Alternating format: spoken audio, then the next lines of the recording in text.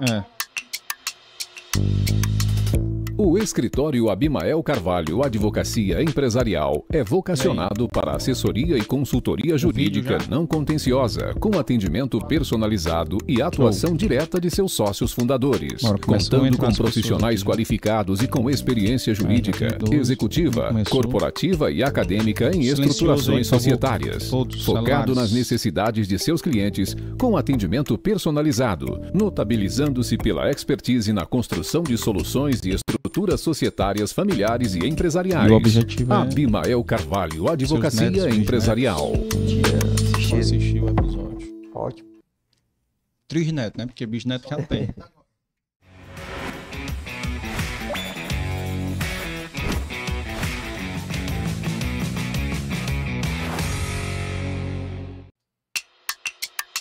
Olá, sejam bem-vindos O escritório ao Abimael episódio Carvalho, número Advocacia 93, Empresarial, é episódio vocacionado especial do Dei Valor Podcast comemorativo de um ano. Há exatamente um ano atrás, estávamos aqui dando início a essa jornada, jornada que só tem crescido graças a vocês aí que têm gostado, né? E já solicitando aqui os recados de sempre, né?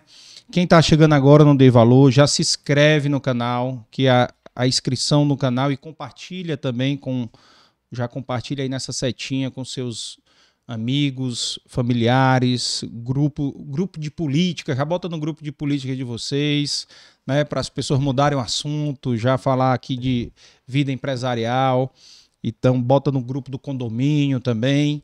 Então vamos é, propagar essas histórias bacanas de cearenses que deixam o seu legado aí para para nossa população aqui, que geram, né, que movimentam a economia. Então, por favor, se inscrevam, deixa o like já no vídeo, né? Se- lembrando que o episódio também vai estar disponível a partir de amanhã no Spotify, para quem gosta de ouvir durante a atividade física ou durante uma viagem, né? Então vocês podem baixar também no Spotify.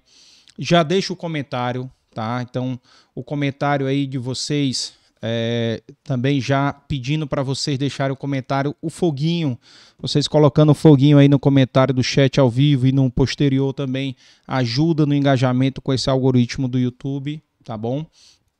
Então já peço para vocês aí essa esse foguinho, deixando o foguinho aí, deixando o, like e compartilhe com o máximo de pessoas possível aí para vocês é, poderem ajudar aqui esse conhecimento, que é a história de vida desse empresário exemplar que nós vamos receber hoje aqui nesse episódio especial possa inspirar vários cearenses brasileiros, né, que estão aí espalhados aí do mundo afora, tá bom? E já agradecendo aqui também, quem quiser é, ajudar, colaborar com o Dei Valor, tem um QR Code aí na tela de vocês, tá? É, vocês podem ajudar a doar qualquer valor, será muito bem-vindo. E também tem um, um Pix aí na descrição do canal, certo? Na descrição do vídeo, tá? Então também podem doar via Pix aí na descrição. E já agradecer os nossos patrocinadores aqui. Hoje nós temos um, um patrocínio especial hoje do escritório de advocacia Abimael Carvalho, advogados, né, um patrocínio especial no nosso episódio de hoje e patrocínio também aqui da Amarelo Saúde Mental, do nosso aqui, do nosso café, Café Vitória e o apoio institucional da Federação das Indústrias do Estado do Ceará, da FIEC, tá? Então, nosso apoiador aqui que nos ajuda aqui a manter também o, o canal. E os nossos apoiadores também aqui, BSPA, do Dr. Beto Student, seu amigo, né? Da Biscoitos Brié, a Flávio Daniel, La Maison, da Dona Aurideia, Adriana Isabela e o Daniel, que hoje também nos ajuda aqui na, no serviço comemorativo desse aniversário de um ano, tá? A Inove Comunicação, da Ivne e do Pedro, a Inova Contabilidade e também os nossos apoiadores sociais, que são entidades que a gente apoia aqui, que a gente já, inclusive, já recebeu, né? Aqui já fizemos episódios especiais, que é o Fortaleza Azul, que é a entidade que congrega pais de, de crianças portadoras de autismo, né? O IPRED, que o senhor também já doou a ambulância lá, né, para o IPRED, que a gente já viu. Obra Lumen, que faz um trabalho sensacional com os dependentes químicos, né, de resgate desses dependentes químicos. E a Associação Peter Pan, que também faz um trabalho sensacional com as nossas crianças que têm necessidades né, de fazer tratamento com leucemia, com diversos CAs aí que, que pegam as nossas crianças, né? E lembrando que o Dei Valor Podcast é uma produção aqui da Dei Valor Produções e é mais assessoria. E agradecer aqui o nosso time que ajudou desde o início aqui. Né? Nós já tivemos outros produtores, mas Valclides, Tice, Juan, Yuri, Leonardo, meu parceiro aí que me ajudou desde o começo aí. Quando eu tive a ideia, me ajudou aqui a operacionalizar aqui o, o cenário Dei Valor, né? E a Larissa, nossa social media aqui do, do Dei Valor. E já dar as boas-vindas para esse convidado, que era um convidado esperado, né? Tem uma história de vida sensacional, super inspiradora, certo? Seja muito bem-vindo, doutor Deusmar, ao Dei Valor. Obrigado, Carlos. Carlos Ernesto Holanda. Holanda que eu vou chamar só de Carlos. Pode ser, né, Carlos? Pode, claro. claro. Porque todo artista tem nome e sobrenome. Carlos, Roberto Carlos, Rulli Iglesias. Então, era para chamar assim Carlos Holanda, mas uma boa noite especial. Esse vai ser visto à noite, de tarde, de dia. É. Na hora que você estiver escutando essa e vendo e ouvindo é, esse podcast tão bem conduzido pelo Carlos, é... quero agradecer, Carlos, a honra de ser o convidado do aniversário de um ano. Isso é muito significativo, né? aniversariando com um ano e eu vim aqui para fazer esse bate-papo com você. Gostaria de me identificar, é provável que algumas pessoas não vejam, mas escutem. Eu sou branco, meu cabelo branco, curto, eu considero comprido quando ele ultrapassa as orelhas. E já fiz isso na adolescência, aquele que chamava de rabo de burro, quer dizer, quando eu tinha é, lá na década de 60, 70, o que usava cabelo comprido, era o famoso abrigo, burro. Estou usando uma camisa azul com uma calça azul também, jeans. Eu, depois dos 75 anos, me aconselharam a usar jeans, que eu rejuvenesceria, pelo menos na aparência. Já pesei mais de 100 quilos, aí ultrapassou a taxa de glicose e eu entrei no Ozempic e estou agora diminuí 10 quilos em seis meses, estou com 93. Uhum. E não vou dizer que sou bonito, não, porque a dona Auricélia acha, mas os outros eu não, não tenho ideia, cara. Acredito que sim. Sou católico, praticante, peço a Deus que nos ilumine para a gente fazer um papo legal e que a gente possa levar uma mensagem, principalmente sobre empreendedorismo e qualidade de vida. Uhum. Eu acho que a gente precisa pensar muito em como viver. Uhum. Existe na vida da gente dois dias muito importantes. A maioria dos senhores devem saber que o dia. O primeiro mais importante é o dia que você nasce. O segundo é quando você descobre para que nasceu, o que, que você veio fazer na vida. Qual legado você está deixando? Você vai marcar sua passagem aqui, que é tão rápida, se você pensa em termos de eternidade, 100 anos, 120, 110, 90, 80, é muito pouco tempo. Mas nesse pouco tempo, que contribuição você deu?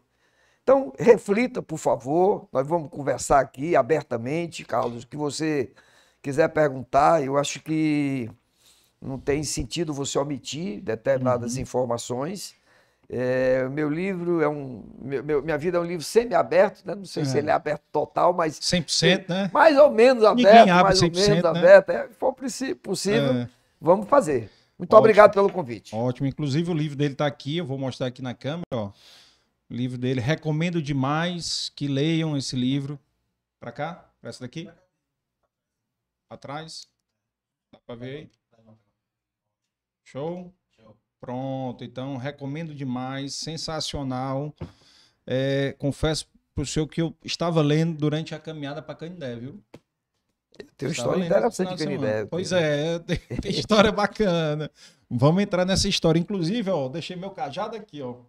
Olha aí que maravilha. Olha aí. Beleza. Deixei meu cajadinho aqui porque fez história aí.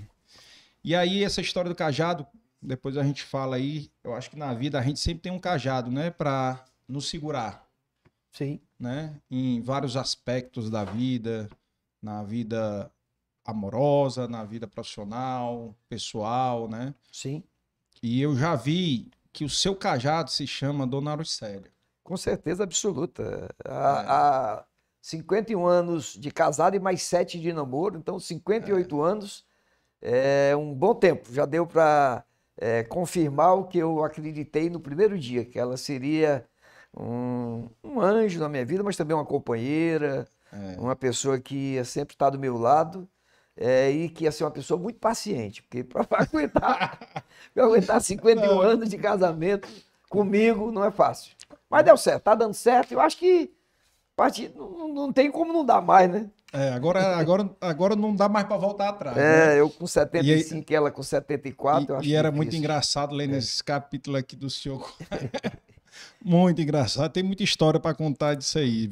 E antes disso, até queria mandar um, um abraço para ela, né, que deve estar nos assistindo Com agora. certeza. E e já também já mandar um abraço para os seus filhos, Cacá, Mário, a Rosilândia, a Patriciana, né, para os seus genros e noras, a Catarine, a Vanessa, o Humberto e o Davizinho, que teve aqui também já, Certo. né? Então, assim, já deixar um registro. São 14 netos 14 e um netos. bisneto. Eu me lembrei agora da sua palestra lá na AGE, né? Sim. Fui lá no almoço, lá da AGE, o senhor falou, não, é porque eu falei que a herança ia ser dividida, como era a história? Não, é porque, na verdade, hoje as pessoas não querem mais ter filhos. né? filho, Eles é. preferem ter gato e cachorro do que ter filho. Realmente, É. filho é que dá trabalho, que é caro, mas é uma preocupação maior. Uhum.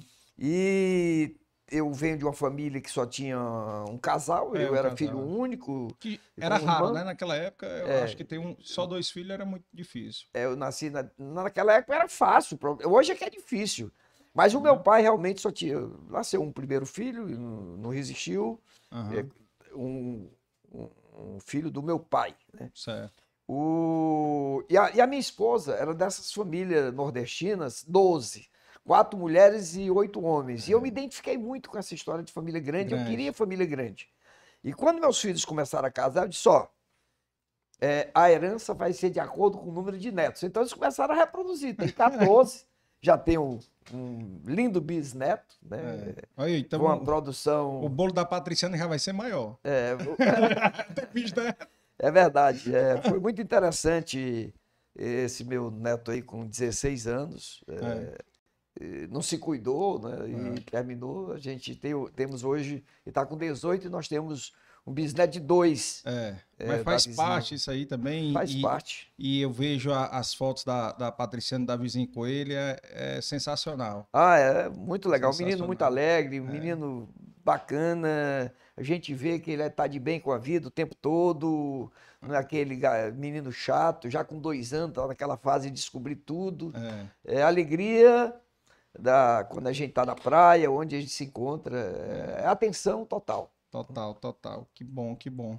Que, que Deus abençoe, né? Que Deus abençoe a sua família, seus netos, bisnetos. Sim. E, e, e os netos, sei que já tem uns aí que estão viajando, né? Estão fazendo Sim. intercâmbio Ano fora. passado, se eu não me engano, tem cinco fora, né, nos Estados Unidos. É, Tem um indo, tá, tá em Londres, vai fazer arquitetura. hum, E tem outros viajando lá para os Estados Unidos.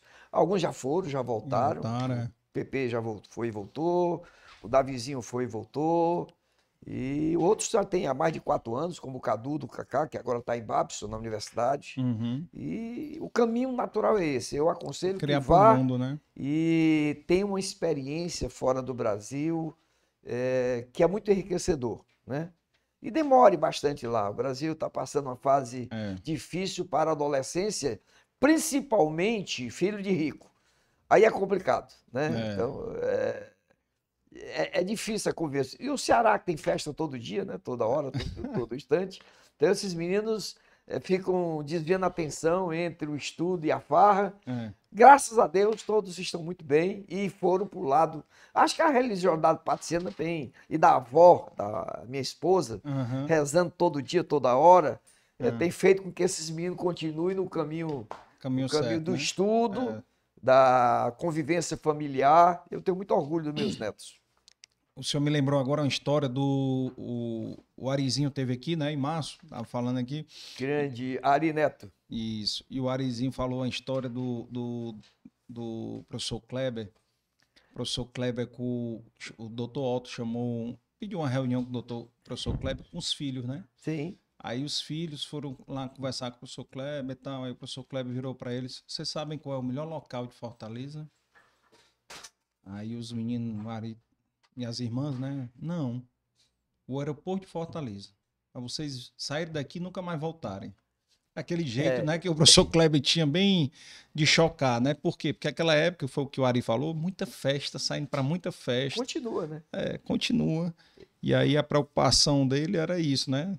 Carlos, eu também tive uma uma experiência interessante com o Kleber, professor Kleber Hum. Aquino. É, ele vinha eh, no final de semana, na sexta-feira, fazia um café da manhã, trazia sempre uma pessoa para trazer uma mensagem, sempre um empresário, Uhum. ou um escritor, um- alguém que pudesse dar uma mensagem interessante. E eu resolvi contratá-lo para, depois do, dessa hora, ele ter um encontro com os quatro filhos. E ele durou um bom tempo, eh, aconselhou os meninos como ir para um restaurante e verificar o atendimento do restaurante. Pegou alguns empresários amigos meus aqui de Fortaleza, bem-sucedidos, e foi fazer visita, marcou bom, conversa com esses empresários. É, foi, foi bem interessante. Ele exigia muito, tinha um livro que era, todos tinham que ler, e, e era uma vez por mês só. Mas quando ele chegava, ele cobrava. Uhum. E ele ia me dando feedback. Olha, fulano não tá essas coisas todas, não, não leu como deveria, não deu o feedback que eu esperava. Mas no final deu tudo certo e eu agradeço o, amigo Kleber Aquino por ter dado esse abrir de cabeça para os meus quatro filhos. É, ele Como teve- você sabe que eles foram da AGE também. Teve uma Sei, época que sei. os quatro, as duas meninas e os dois rapazes estavam na AGE. Uhum. Eu era, na época, o pai que tinha quatro pessoas lá na Associação dos Jovens Empresários. Inclusive, a Patriciana foi coordenador para uma viagem que teve na Espanha. Uhum. É, um- eu considero essas associações de classe muito ricas É. de aprendizado, de informações e também de desinibir, é, mostrar um mundo onde você se apresenta e conhece pessoas. né? É, e a AGE ela tem um, um objetivo, né, que é formação de novos líderes, é, é- é formar para ir para outras entidades, né? Tanto é que você tem é, é, ex- ex-membros da AGE hoje líderes em vários setores, né? Que Quando o pessoal aprenderam- vê esse, já tem passado a, a eleição, que eu vou fazer uma propaganda do Carlos Matos. É, Gosto muito do Carlos quiser, Matos, é, quiser, candidato a deputado federal. é, Espero que ele tenha sucesso pela religiosidade dele. Ele é um Exato. consagrado né, lá do Shalom. exato. É, Ele teve aqui um episódio com ele, a gente teve, a gente fez um episódio com ele porque como ele foi secretário de agronegócio, né? sim, Então ele fez muito pelo desenvolvimento do agronegócio no Ceará, né? Então a gente fez um episódio, ele falou muito sobre essa parte do agronegócio, como o agronegócio foi importante você criar rosas no Ceará, né? sim. Onde é que se imaginava que a gente ia poder chegar a isso? E várias outras culturas, né?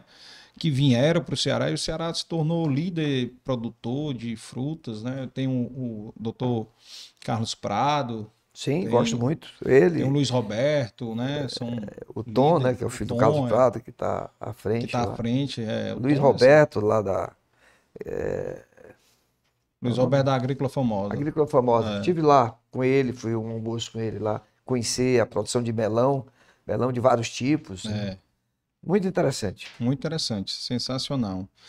E vamos começar aqui nosso bate-papo aqui como eu, eu por exemplo, eu, eu conhe... a única pessoa que eu conhecia de amontada na minha adolescência era a Luísa Tomé, Gente famosa, artista, Né? Luísa Tomé. famosa artista. É. Era a única pessoa. Como é que foi essa infância, né, em, em Amontada? Como é que foi é, essa sua história lá, porque no livro fala muito bacana a sua história lá em a sua história com a Montada, né? É. É, a sua vivência lá, nasceu lá em 1947, né? 27, 27 de maio. de maio de 47. 47. Caso me permita fazer um, um parênteses com relação a Luísa Tomé. É. é. O sucesso incomoda muito, né? O sucesso das pessoas incomoda. É. E eu, desde o início, quando a gente começou a Pague Menos, nós queríamos ser, queríamos ser grandes para ter acesso ao laboratório, para ter prazo para ter desconto. E em 2002 nós chegamos em São Paulo. Uhum. É, incomodou muita gente, porque em São Paulo estavam as maiores redes do Brasil. Sim. E um deles resolveu vir para o Ceará, sem ir para o Rio de Janeiro, sem ir para outra cidade, direto São Paulo, Fortaleza, para dizer: vou matar a formiga lá no é. formigueiro. Pois não é que ele descobriu que a Luísa Tomé era de amontada, era de amontada e contratou a Luísa Tomé para fazer propaganda aqui em Fortaleza, mas era para machucar mesmo. Aí vou pegar uma conterrânea do Deusmar e ela vai fazer a propaganda da drogaria lá que veio de São Paulo para cá.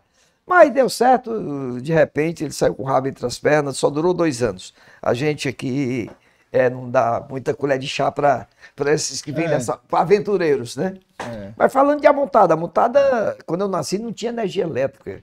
É, meu pai, que um empreendedor, comprou um motor a diesel e colocou um ponto de luz em cada, cada casa, ali por volta de seis horas ele acendia uhum. e oito horas ele dava um sinal, oito e pouco. O pessoal dormia cedo, né? Uhum. Aquela sertão. E quando tinha festa na igreja, pedia para ficar até mais tarde. Hoje tem a é, rua principal de entrada de Amontada, tem uma avenida com o nome dele e tem um busto é, com o nome de Antônio Lisboa de Queiroz, mais conhecido como Antônio Nonato. Uma infância normal, boa, diria, rica, é, é, estudando na professora Rita Viúva, ela era uma, uma, um ensino interessante porque ia desde o ABC até o máximo que você pudesse. Todo mundo na mesma sala, não tinha divisão de primeiro ano, de segundo ano, essas coisas não existiam. Uhum. É, e foi o meu primeiro contato com aprender a ler e escrever, até que, e meu pai era um comerciante, minha montada, também tinha gado, tinha porco, tinha é, carneiro, cabra, é, tinha, era um rico do interior. O rico do interior vende tudo, vem para a capital, não dá para comprar um apartamento. Se você for verificar 100 vacas, 100, 10 cavalos, vai apurar o dinheiro, não é muita coisa. Mas ele, é, lá nós tínhamos uma vida muito boa, é, até que em 1955 ele já tinha uma irmã mais velha que eu tenho ainda, com mais de 10 anos mais velha, ela estudava no colégio interno, aqui no Santa Maria Gorete, se eu não me engano. E. Raimunda Nonata, né? Raimunda Nonata de Queiroz, ah, exatamente. Hum. E ela estava interna, e ele achava que para mim não dava certo interno, então se mudou para que eu fosse ser doutor. O objetivo dele, não interessa, era um anel no dedo. Não é doutor médico, qualquer formatura, ele queria um filho doutor. Essa vinda para cá foi. Determinado, né? Era. Nós fi... hum? Muito determinado. Sim, determinado. Vendeu que... uma parte do que tinha, ainda ficou com a uhum. fazenda, ficou com a casa. É... e comprou uma mercearia na periferia de Fortaleza, no bairro de Antônio Bezerra. É... E tivemos uma, eu tive uma infância de muito trabalho né, com essa vinda para Fortaleza, porque uh, meu pai acreditava que eu devia estudar em bons colégios.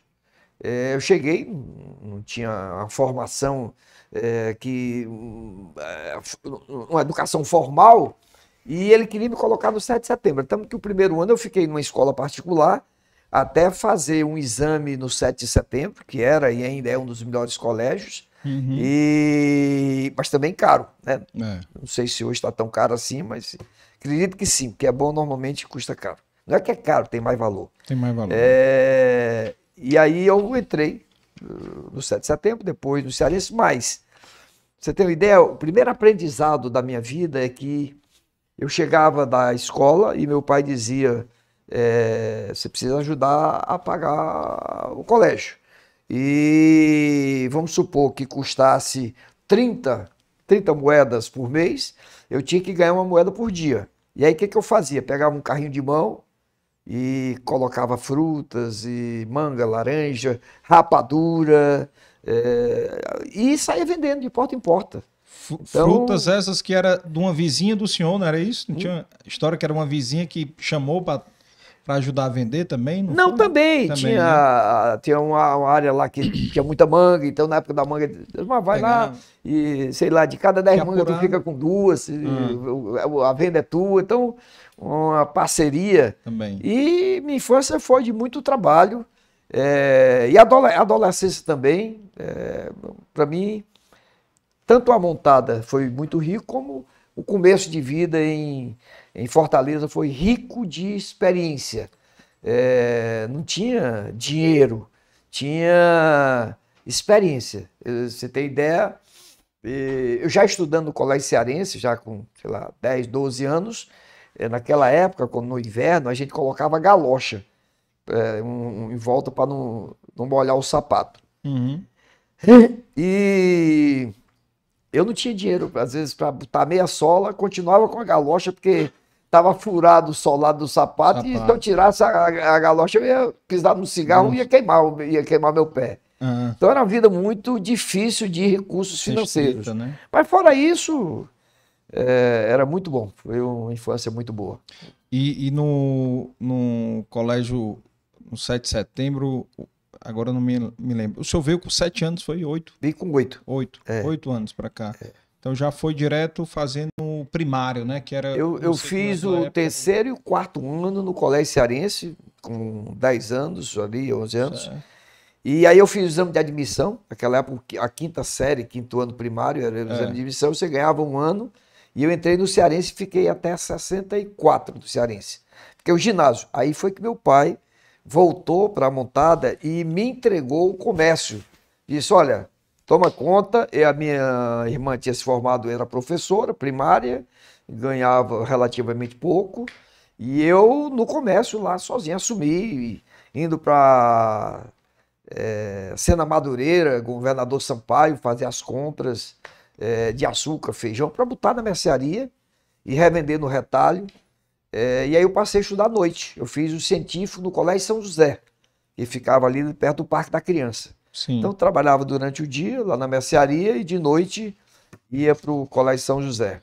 E... Até que eu descobri um primo que queria vir morar em Fortaleza, um primo um pouco mais velho que eu, e estava doido para vir para Fortaleza, morar em Fortaleza, e pediu para trabalhar comigo. E eu vi nisso uma oportunidade muito legal é, de eu poder é, ir pro, tá, buscar um outro caminho, um, emprego formal. Né? Ele ficar no comércio e o senhor poder. Ele ficar no comércio e eu poder ir buscar novos horizontes.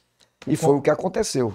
O comércio do seu pai era um comércio de secos, secos e molhados. e molhados. Ficava o saco lá, uhum. arroz, milho, feijão, uhum. goma, é, açúcar, café, rapadura, queijo essas mercearias do, do, do, interior, de periferia, que hoje em dia praticamente não tem, hoje já está é. mais moderno. É, para você ter ideia, a gente trabalhava com aqueles balança de dois pratos. Você botava o um papel, colocava o é. peso de um lado, a mercadoria do outro e depois enrolava. Hoje é tudo já vem embalado, é. já vem tudo dentro do, do saco plástico, é. unidade de um quilo, dois quilos, já vem tudo dividido. Naquela época era bem difícil. E o senhor, acho que na época do 7 de setembro, o senhor era um pouquinho danado ou não? Eu tive a sorte de conviver na época do Dr. Edilson Brasil Soares. Ah. E lá no 7 de setembro, eles, eles, quando você fazia qualquer traquinagem, você ficava preso. Quer dizer, a aula terminava, às 11 horas, você ficava mais meia hora ou duas horas lá no canto, numa sala todos aqueles que tinham feito alguma coisa que alguma fugia a rotina.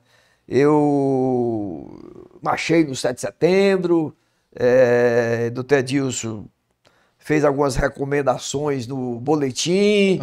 é, uma delas que eu me lembro muito bem, que eu levei alguns cascudos, foi estude e proceda. Quer dizer, nem a nota estava boa, nem o meu comportamento estava tão bom assim. Tomara que meus netos não escutem, mas tudo bem. Porque a gente fica dizendo para eles estudarem. Né? Mas eu tive alguns é, momentos assim de indisciplina lá no colégio, é. sei lá, besteira, brincadeira. Né? Brincadeira de criança. Mas foi uma escola muito boa, tanto o 7 de setembro como o Colégio Cearense para mim.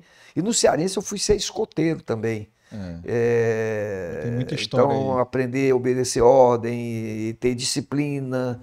O escotismo foi bem interessante também, uma boa escola.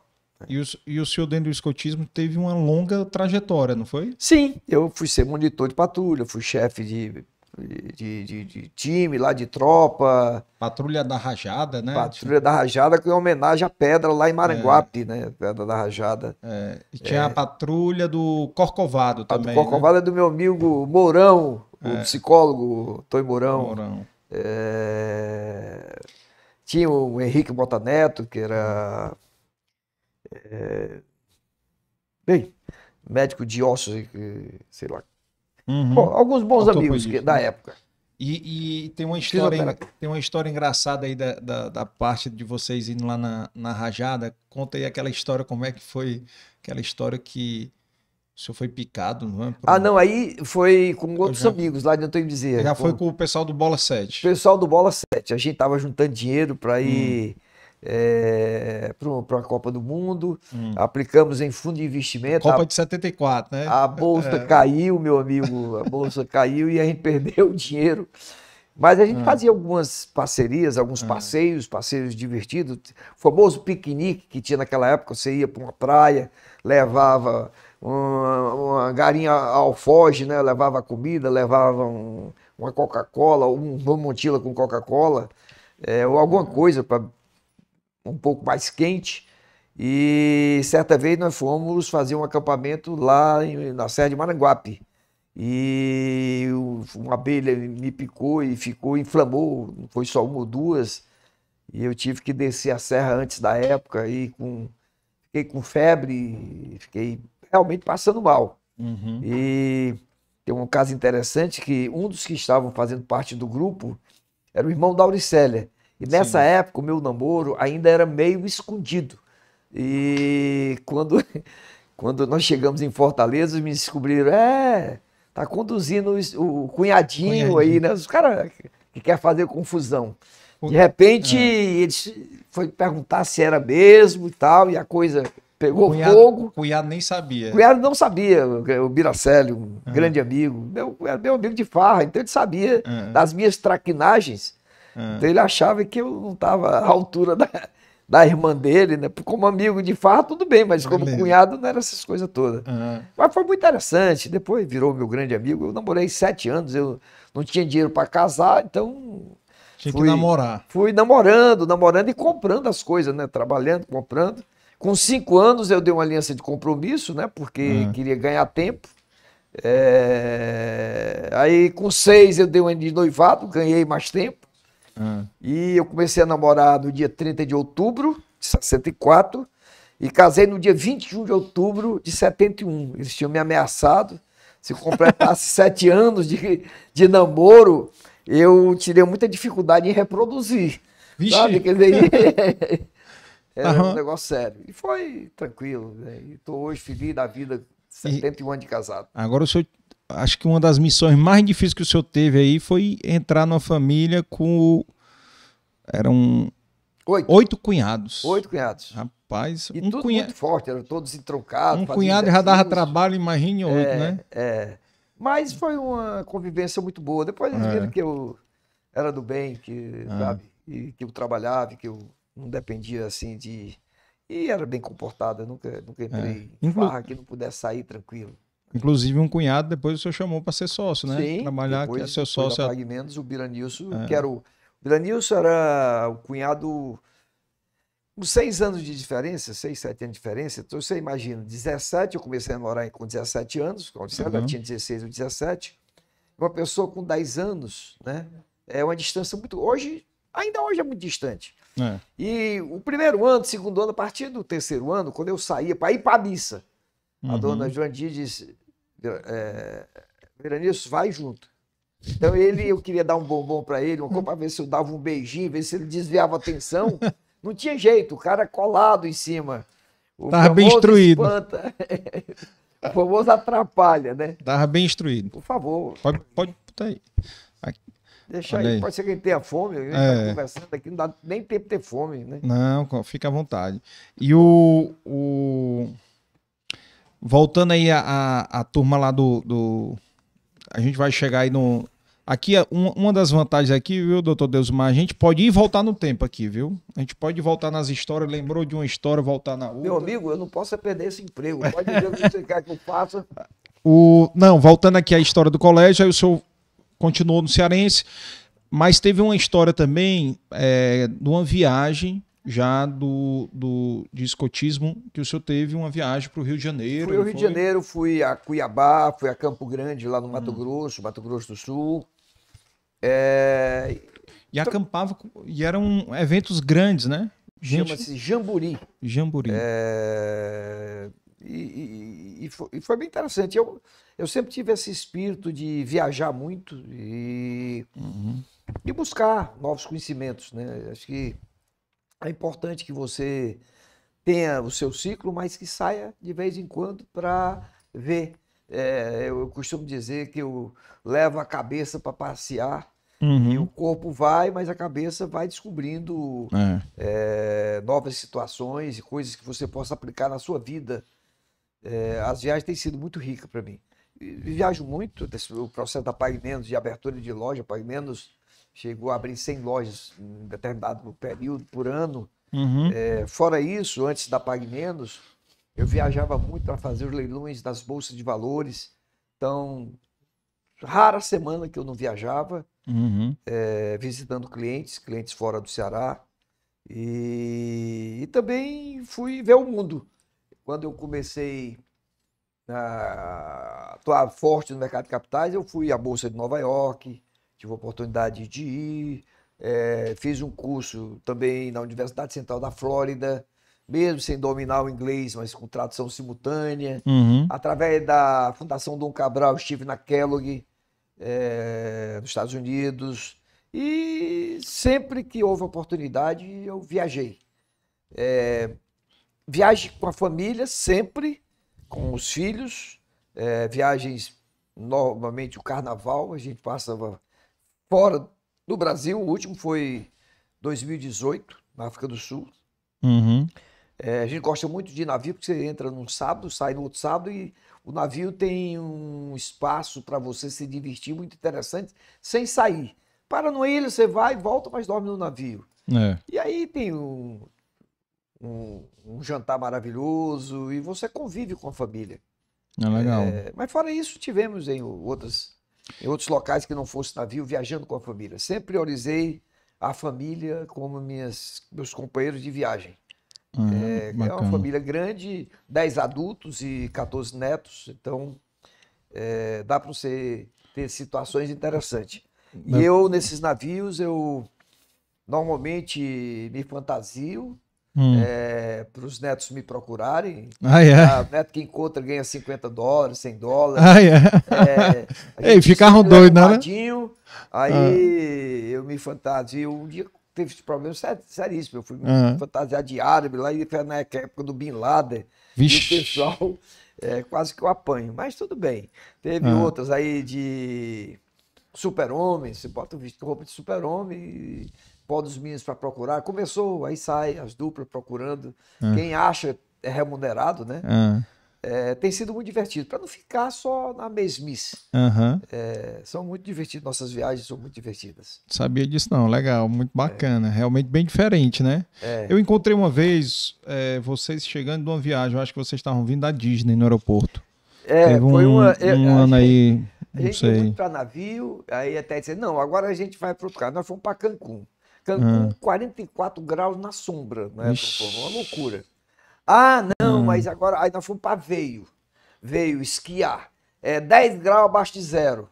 Meu Deus do céu. Aí disse: não, agora vamos voltar para navio. Qual? Não, o navio da Disney, da vida de espetáculo. Duas Ah. mil crianças fazendo zoada no teu pé do vidro durante cinco dias, quase que. não- e não- Bem não tinha animador. bebida.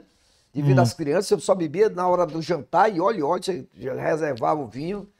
Eu digo, não, pelo amor, não, não quero mais saber dessa história. Aí fomos para África do Sul. Um, Hum. um safari lá com uma savana e um, um, um hotel dentro do negócio de noite para você ir para o seu quarto e um cara com fuzil porque podia um animal, tudo, tudo encenação, Ah. né? É, mas temos feito essas aventuras aí, tem- temos nos dado muito bem.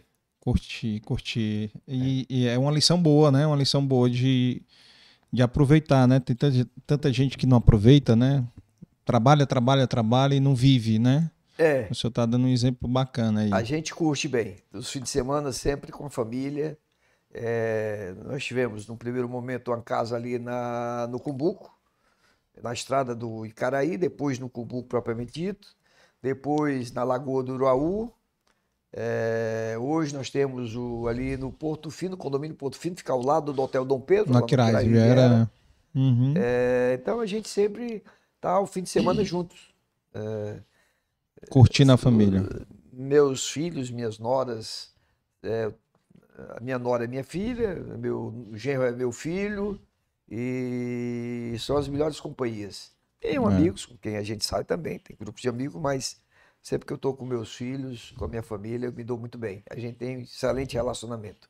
E- Eu ainda, eu não sei, eu- logo no começo, é, eu criei um ritual de todos que se encontram comigo me pedem a bênção e me beijam, tanto nora, genro, filho, filha, neto, o bisneto já está me tomando a bênção e me beijando. Ah, é, eu acho a bênção uma coisa é, espetacular, É. divina, De respeito, né? é um sinal de respeito. Eu acho o beijo uma demonstração de carinho. é, e eu tenho tido, é, graças a Deus, foi implantado desde criança e eles casaram. Meus filhos todos, todos são da década de 70. eu Acho que não tem, todos estão mais de 40 anos. Então, Uhum. né? Se fosse 80, seria 42, um pouco antes de 80. O Mário tem É. 45, então deve ser de 78, 70, 77. 70, é, 75. Então, esses casaram e a Nora veio e também me toma benção e me beija e certo? Não tem problema. Que bom. O Davi fica bem resistente e eu digo, ah, você tu pode não beijar o Fernando, mas a mim você vai beijar. É, Olha aí, Davi. a gente se, se dá muito bem. Se Davi vai mandar já um beijo aqui no chat aqui, ó. Vai mandar um beijo no chat aqui, Davi vai inovar. Você sabe que o Davi Patrano faz um trabalho maravilhoso no Amari, né? Sensacional, Espetacular. Mais de sensacional. mil casais. É, eh, Ele trabalhando para que haja uma harmonia familiar. Existe aquela história da crise dos sete anos, né? E eles é. conseguem contornar essa crise dos sete anos. Hoje, casar e descasar é, é muito fácil, né? É. E eu, eu- digo para minha esposa, para Auricélia, que eu chamo de Tetelinha, que daqui a alguns anos o pessoal vai apontar a gente na rua. Ó, esse cara aí tem 60 anos de casado e tal. E vai ser coisa rara, né? Sim. Casamento longevo, né? É, Já é muito raro, né? É. Hoje em dia, meus pais estão com 51 anos de casar também. Ótimo. 51 anos de casado. Quatro, quatro filhos também. São... Sou caçula, sou caçula. Tem uma, uma, uma coisa interessante que ao longo da conversa a gente vai falando. É, uma das coisas que eu vi bastante aqui, eu já tinha no almoço da AGE visto o senhor Sim. falar, ouvido o senhor falar e li aqui no- na sua biografia que, que o senhor teve muitos insights nessas viagens, né? Muitos insights da Pague Menos, né? Sim. que nessas viagens que o senhor fez, o senhor tirou muito proveito delas, né? Então, assim, teve. Para fica- ter sucesso na corretora de valores, eu fiz contato com grandes empresários. Uhum, É, a gente comprava. re- Como é que funciona o, o sistema de incentivos fiscais? Primeiro, no início do incentivo, eh, a- o, o incentivo aqui para desenvolver. O, Brasil crescia o sul a passo de coelho e o Nordeste a passo de tartaruga. Então, criaram um mecanismo para que parte do imposto de renda das pessoas jurídicas fosse aplicado em ações de empresas do Nordeste. Então, Sim. muitos projetos aprovados pela Sudene, Superintendente Superintendente do Nordeste, e também da Sudã, Superintendente da Amazônia, fossem criados aqui na década de 60. A, a ideia inicial foi do Celso Furtado, é, em 1962, com a criação da Sudene, depois Banco do Nordeste. E esse dinheiro vinha, as pessoas compravam as ações e depois essas ações iam para leilão nas bolsas. E os próprios empresários é que recompravam essas ações. Então eu tinha muito contato com grandes grupos econômicos é, que aplicavam no Nordeste. Inclusive, tem uma história muito interessante que é onde eu ganhei o meu primeiro valor significativo, que foi no polo petroquímico de Camaçari. A, a empresa holding lá de coordenava muitas empresas do polo petroquímico era a é, Norquiza, Norquiza. que era presidida pelo Geisel. O Geisel, quando saiu da presidência da República, ele foi seu presidente da Norquiza. E eu tive um episódio muito sério com ele que eu um dos o Pedro Paulo da Poé, que era o controller da Norquiza, assistiu a minha atuação num leilão. O leilão você você mede a performance de um operador de bolsa, quando ele vai vender, vender caro. Quando vai comprar, comprar barato. Então, eu fazia isso para meus clientes. Eu, quando eles me davam ordem para comprar, eu dava um jeito de comprar o mais barato possível. E, no caso, esses empresários eram compradores das suas próprias ações. E eu fui convidado, é... um belo dia, eu recebo uma ligação do Pedro Paulo Apoian dizendo, Deusmar, é, não estou vendo teu nome aqui na relação, vai haver uma concorrência para comprar as ações da Copene é, Companhia Petroquímica de, do Nordeste, que era a maior empresa do polo petroquímico. Uhum. Eu digo, eu não recebi o convite. Ele disse, não, mas não é possível. É, eu, eu, dei para minha secretária o seu nome e eu digo, pois é, infelizmente, pois esteja aqui amanhã 10 horas, cara. Venha para cá, para o Rio de Janeiro. Era no Rio de Janeiro, sede da 915. É, então eu fui, foi um negócio muito interessante. Quando eu cheguei. Tinha voo diário lá? Não, era, tinha um voo que saía duas horas da manhã. Eu cheguei 6 horas da manhã no Rio de Janeiro. Uhum. E quando eu cheguei, que eu disse que, que eu me lembrei que ia falar com o ex-presidente da República, eu disse, eu tenho que ter um paletó. E eu não tinha levado paletó. Ixi. Eu tinha, eu, na Avenida Rio Branco 153, tem um prédio chamado Avenida Central, hum. que a Crédimos, onde eu trabalhei, hum, quando eu entrei no mercado financeiro, em 1971, tinha um escritório lá. E eu tinha ido lá várias vezes. E embaixo desse prédio tinha uma loja chamada Quinta Avenida e tinha um cearense. E eu tinha comprado algumas camisas com ele, tinha feito uma boa amizade. Hum. É, Manuel, o nome dele. E aí eu digo agora o que, que eu faço? E eu não tinha dinheiro suficiente para comprar. Eu digo, vou lá. E contei a história para o Manuel. Ele disse, não, cearense, eu vou te ajudar aqui. Eu digo, mas eu não tenho dinheiro para comprar um terno completo. Ele disse, me arranje pelo menos um blazer. Ele disse, blazer eu não tenho, mas eu tenho um, um, um, um terno aqui que eu fico Nossa. com a calça para vender separado e te vendo o terno. Eu digo, e o dinheiro? Diz, quanto é que você tem aí? Eu separei o dinheiro de um, de um sanduíche e tal, porque eu já ia voltar à noite. E ele me vendeu e me salvou. Aí eu fui para a reunião. Quando eu cheguei lá, é, a Alice, Alice, um nome esquisito, Biqueleta, coisa assim, era secretária do Pedro Paulo da Punha. E ela disse, disse, olha, o seu, o seu Deus Matos, é, eu queria lhe pedir desculpa, porque quando eu vi que na concorrência era o Banco Econômico, o Banespa, o Bradesco e uma corretora do Ceará, eu não tive coragem de lhe chamar. Achei que só não ia poder disputar com esses, com esses gigantes aí do mercado financeiro. Digo, puxa, mas e aí? Não, agora o Pedro Paulo falou, eu tenho que lhe atender. O senhor disse, então, faz o seguinte, eu lhe perdoo se você me colocar por último.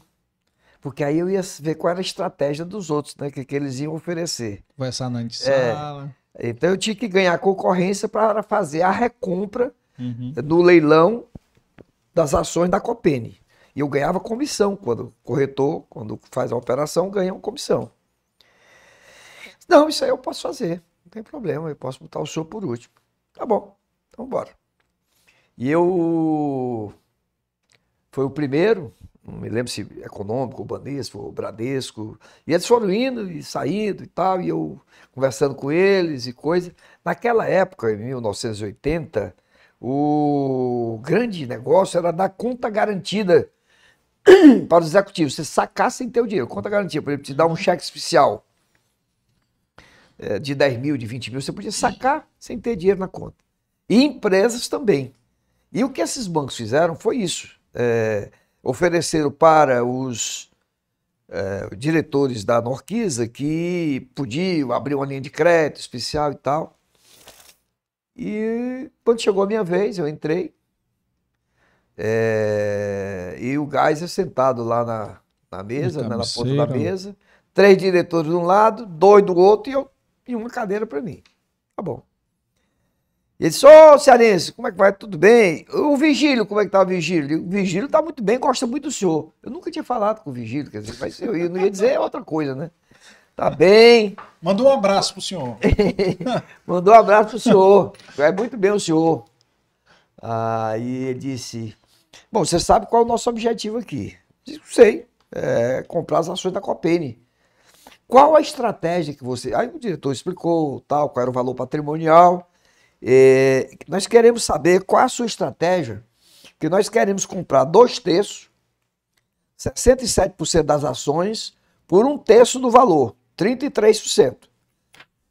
É, era, não era difícil fazer isso para uma empresa desconhecida. Para uma blue chip como a Copene, que era a empresa, a maior empresa do polo petroquímico, é, era muito difícil. E quem é que disputa o leilão? quem tem créditos do imposto de renda, os maiores contribuintes do imposto de renda.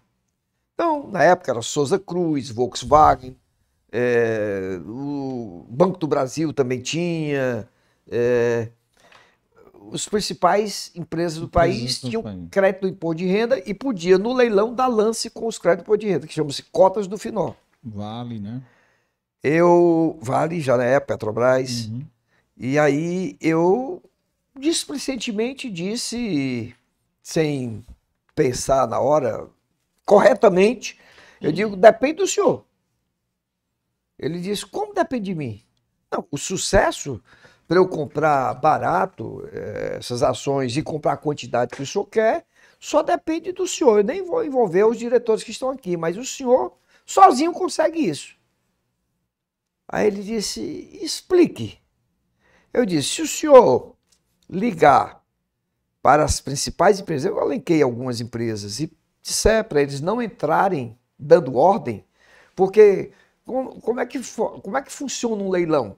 Se você oferece por 10 e 20 levanta a mão, ele aumenta para 12, aumenta para 15, vai aumentando. Se oferece por 10 e ninguém levanta a mão, você baixa para 8, baixa para 7. Então, se o senhor, é, se o prestígio que o senhor tem disser para eles não entrarem comprando Copene, nós teremos sucesso, conseguiremos comprar é, é, com, pelo, pela estratégia que está aqui. Aí ficou um silêncio. Aí o, o Dapoian estava sentado, deu um chute na minha canela que eu passei um mês com. Dona Canela. É, ele. Aí eu. O que, que eu fiz? Esse homem bateu na mesa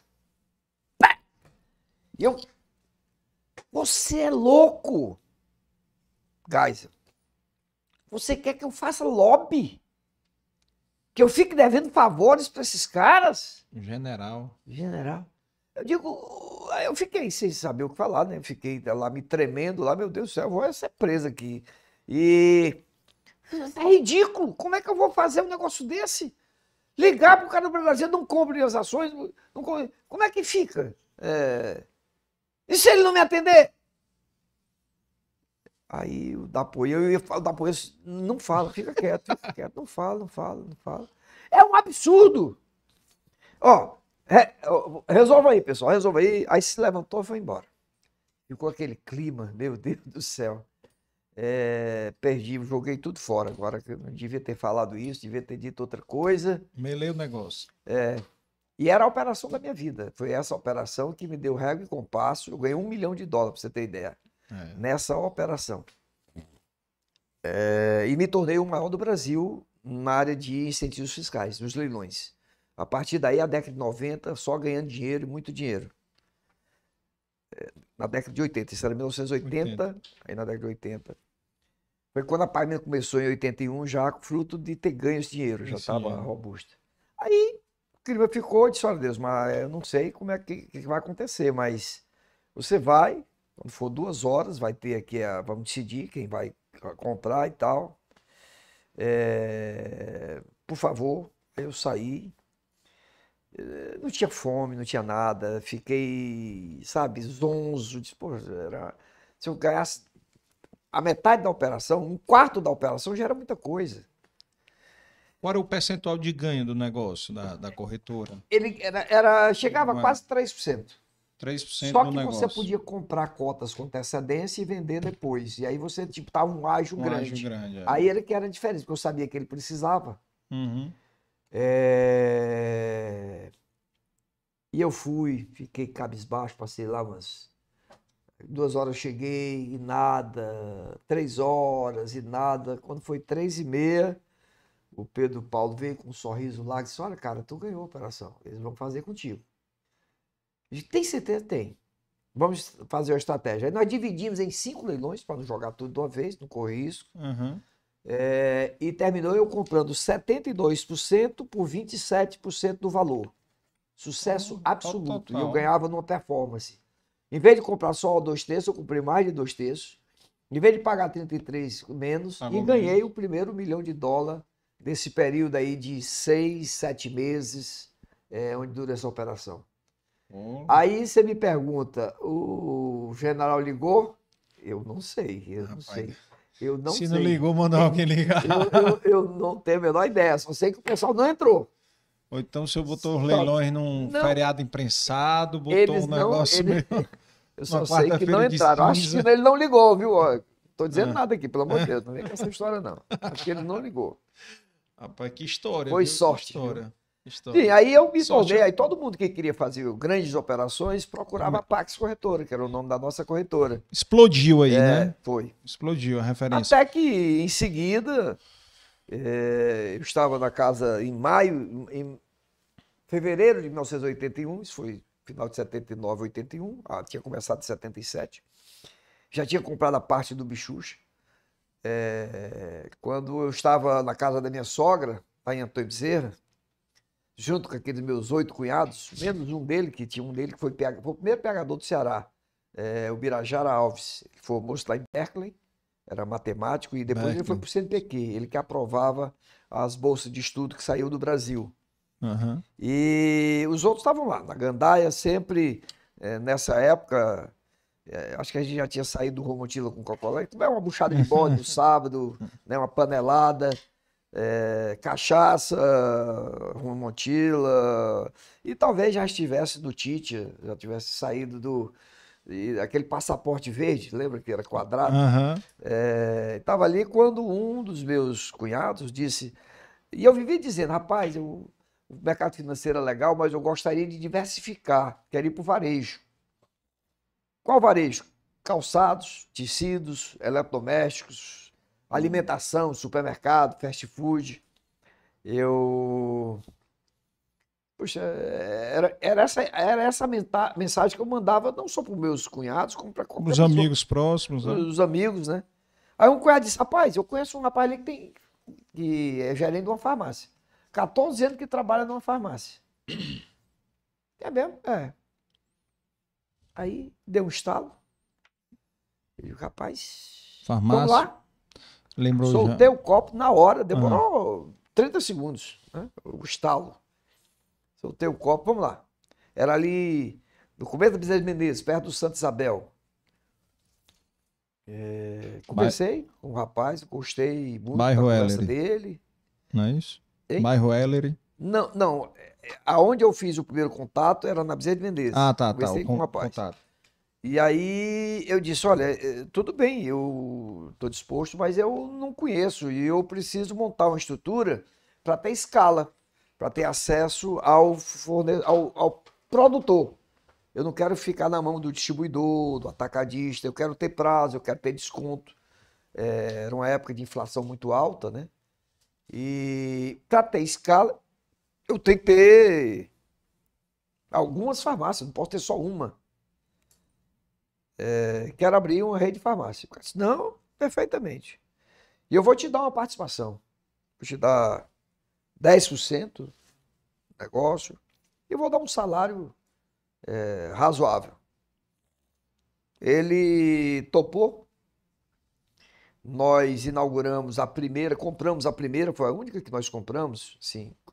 É, Comprou ela pronta, né? Lá na Naturaria de Feijó, Barão do Crato, que foi a primeira. Certo. Era de uma prima que queria sair do ramo, uma farmáciazinha pequena. É, então foi rápido, já existia, foi só trocada, entrar na junta. Essa loja ainda existe? Não. Não, não, né? Era muito pequena, muito, muito pequena, pequena não, não, viabilizava. Uhum. E foi inaugurado dia 19 de maio de 1981. A Pax Corretora foi dia 26 de maio. Eu completaria 77. Eu completaria 30 anos no dia 27 de maio. Um dia antes, é, eu inaugurei a primeira empresa, foi a Pax.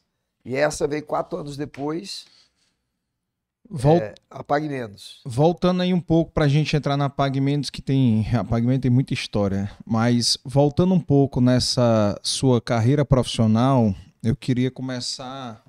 É, o senhor falando um pouco do, do seu início profissional, né? Porque muito, muito interessante, né? O senhor começou na IBM, né? Teve uma.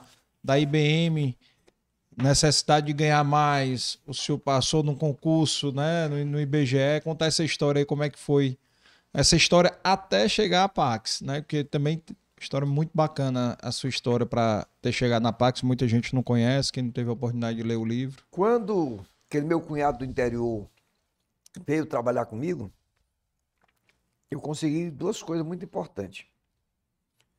Primeiro, casei ele com a minha, com a minha irmã, que já estava dando o pulo da macaca, já estava já tava ficando balzaquiana, né? Ficando pra titia, que eu, ficando a gente fala.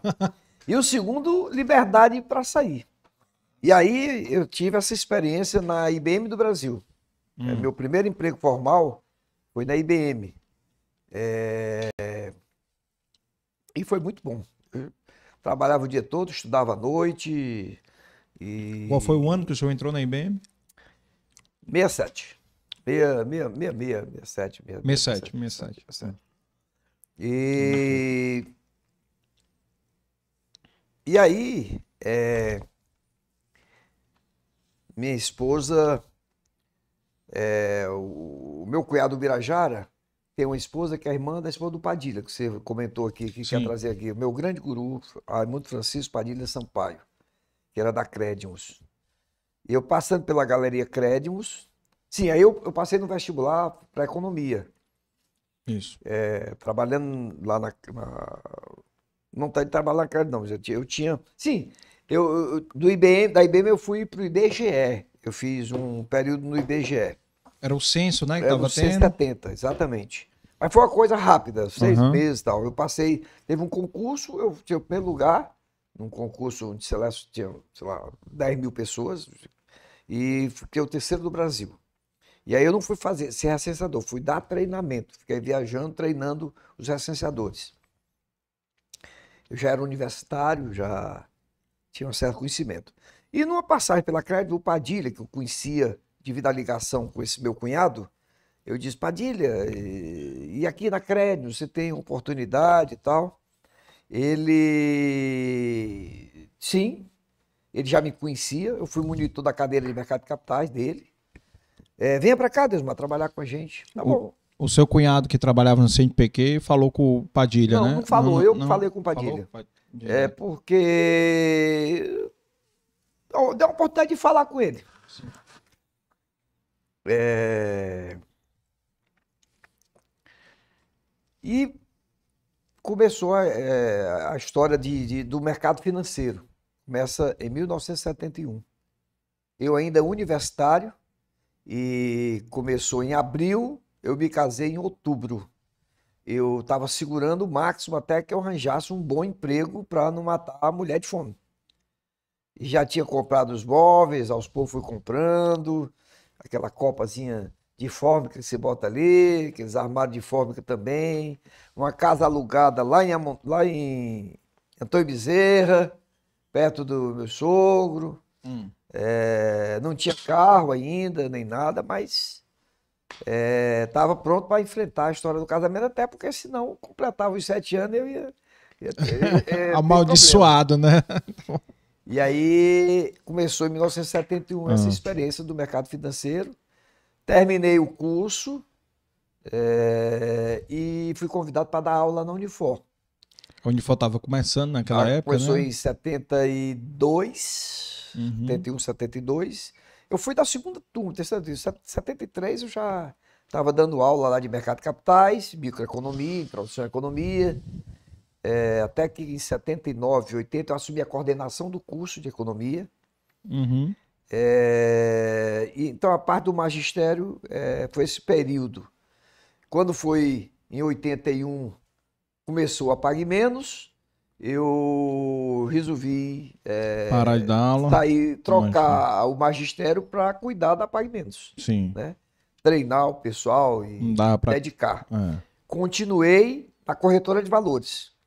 A corretora de valores veio até 2017. Ela começou em 77, durou 40 anos. Mas não era mais com os leilões como fazia antigamente. É, O período da década de 80 ainda foi muito forte. Depois o Collor entrou. É, quando o Collor entrou, ele mudou o sistema de leilões. Criou um mecanismo que você, ao invés de receber ações, recebia debêntures para resgatar sete anos depois. Então não tinha ações para você leiloar. Ia fazer um período de sete anos para poder negociar. Aí eu me dediquei totalmente a pagamentos. Foi um período em que a pagamentos realmente eu passei a me dedicar de corpo e alma. E foi quando surgiu é, o correspondente bancário, por exemplo. Eu estava em Belo Horizonte, saindo de um leilão, quando passou uma bicicleta, lavanderia Eureka, venda de vale transporte. Puxa, uma lavanderia vendendo vale transporte. E vale transporte, é, na década de 80, que só tinha lá no sindicato. E Sindônibus. ficava uma fila Uhum. muito grande no fim do, do, do mês para comprar o vale transporte para dar para os funcionários. Sim. Só tinha uma venda. Eu perguntei para o presidente da Bolsa, lá de Belo Horizonte, o Rui Lage, se ele conhecia alguém da lavanderia Eureka. Ele disse, sim, conheço o doutor Cavalino. Tu consegue uma entrevista com, pra, pra- com ele? Consigo. Uhum. Voltamos, porque não tinha celular naquela época, e marcou entrevista. Eu ia viajar de volta para Fortaleza, cancelei. No dia seguinte, fui falar com ele, e ele disse um negócio muito interessante, que foi onde nós ganhamos muito dinheiro. Aí, é, ele, eu conversando com ele, ele disse: eu digo, Mas como é que funciona? Não, eles me entregam o vale transporte e eu pago três dias depois. Isso era 1988. E, Senhor Cavalino, deixa eu entender. O senhor recebe os vale transporte do sindicato, vende os vale transporte e paga três dias depois. Sim, é assim que eu faço. E o risco? Não, o risco é todo meu. Se roubarem, eu tenho que pagar porque eu recebi e tal. Eu, eu, eu, eu- sabe, eu disse, mas que oportunidade maravilhosa. Quer dizer, naquela época o overnight era 3% ao dia.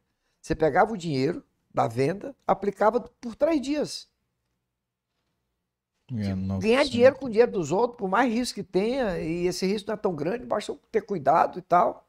Cheguei em Fortaleza, fui lá no sindicato, é, disse, olha, eu soube que para cada 100 mil... Aí o senhor Cavalheiro me deu a legislação, cada 100 mil habitantes tem que ter um posto de venda de vale transporte.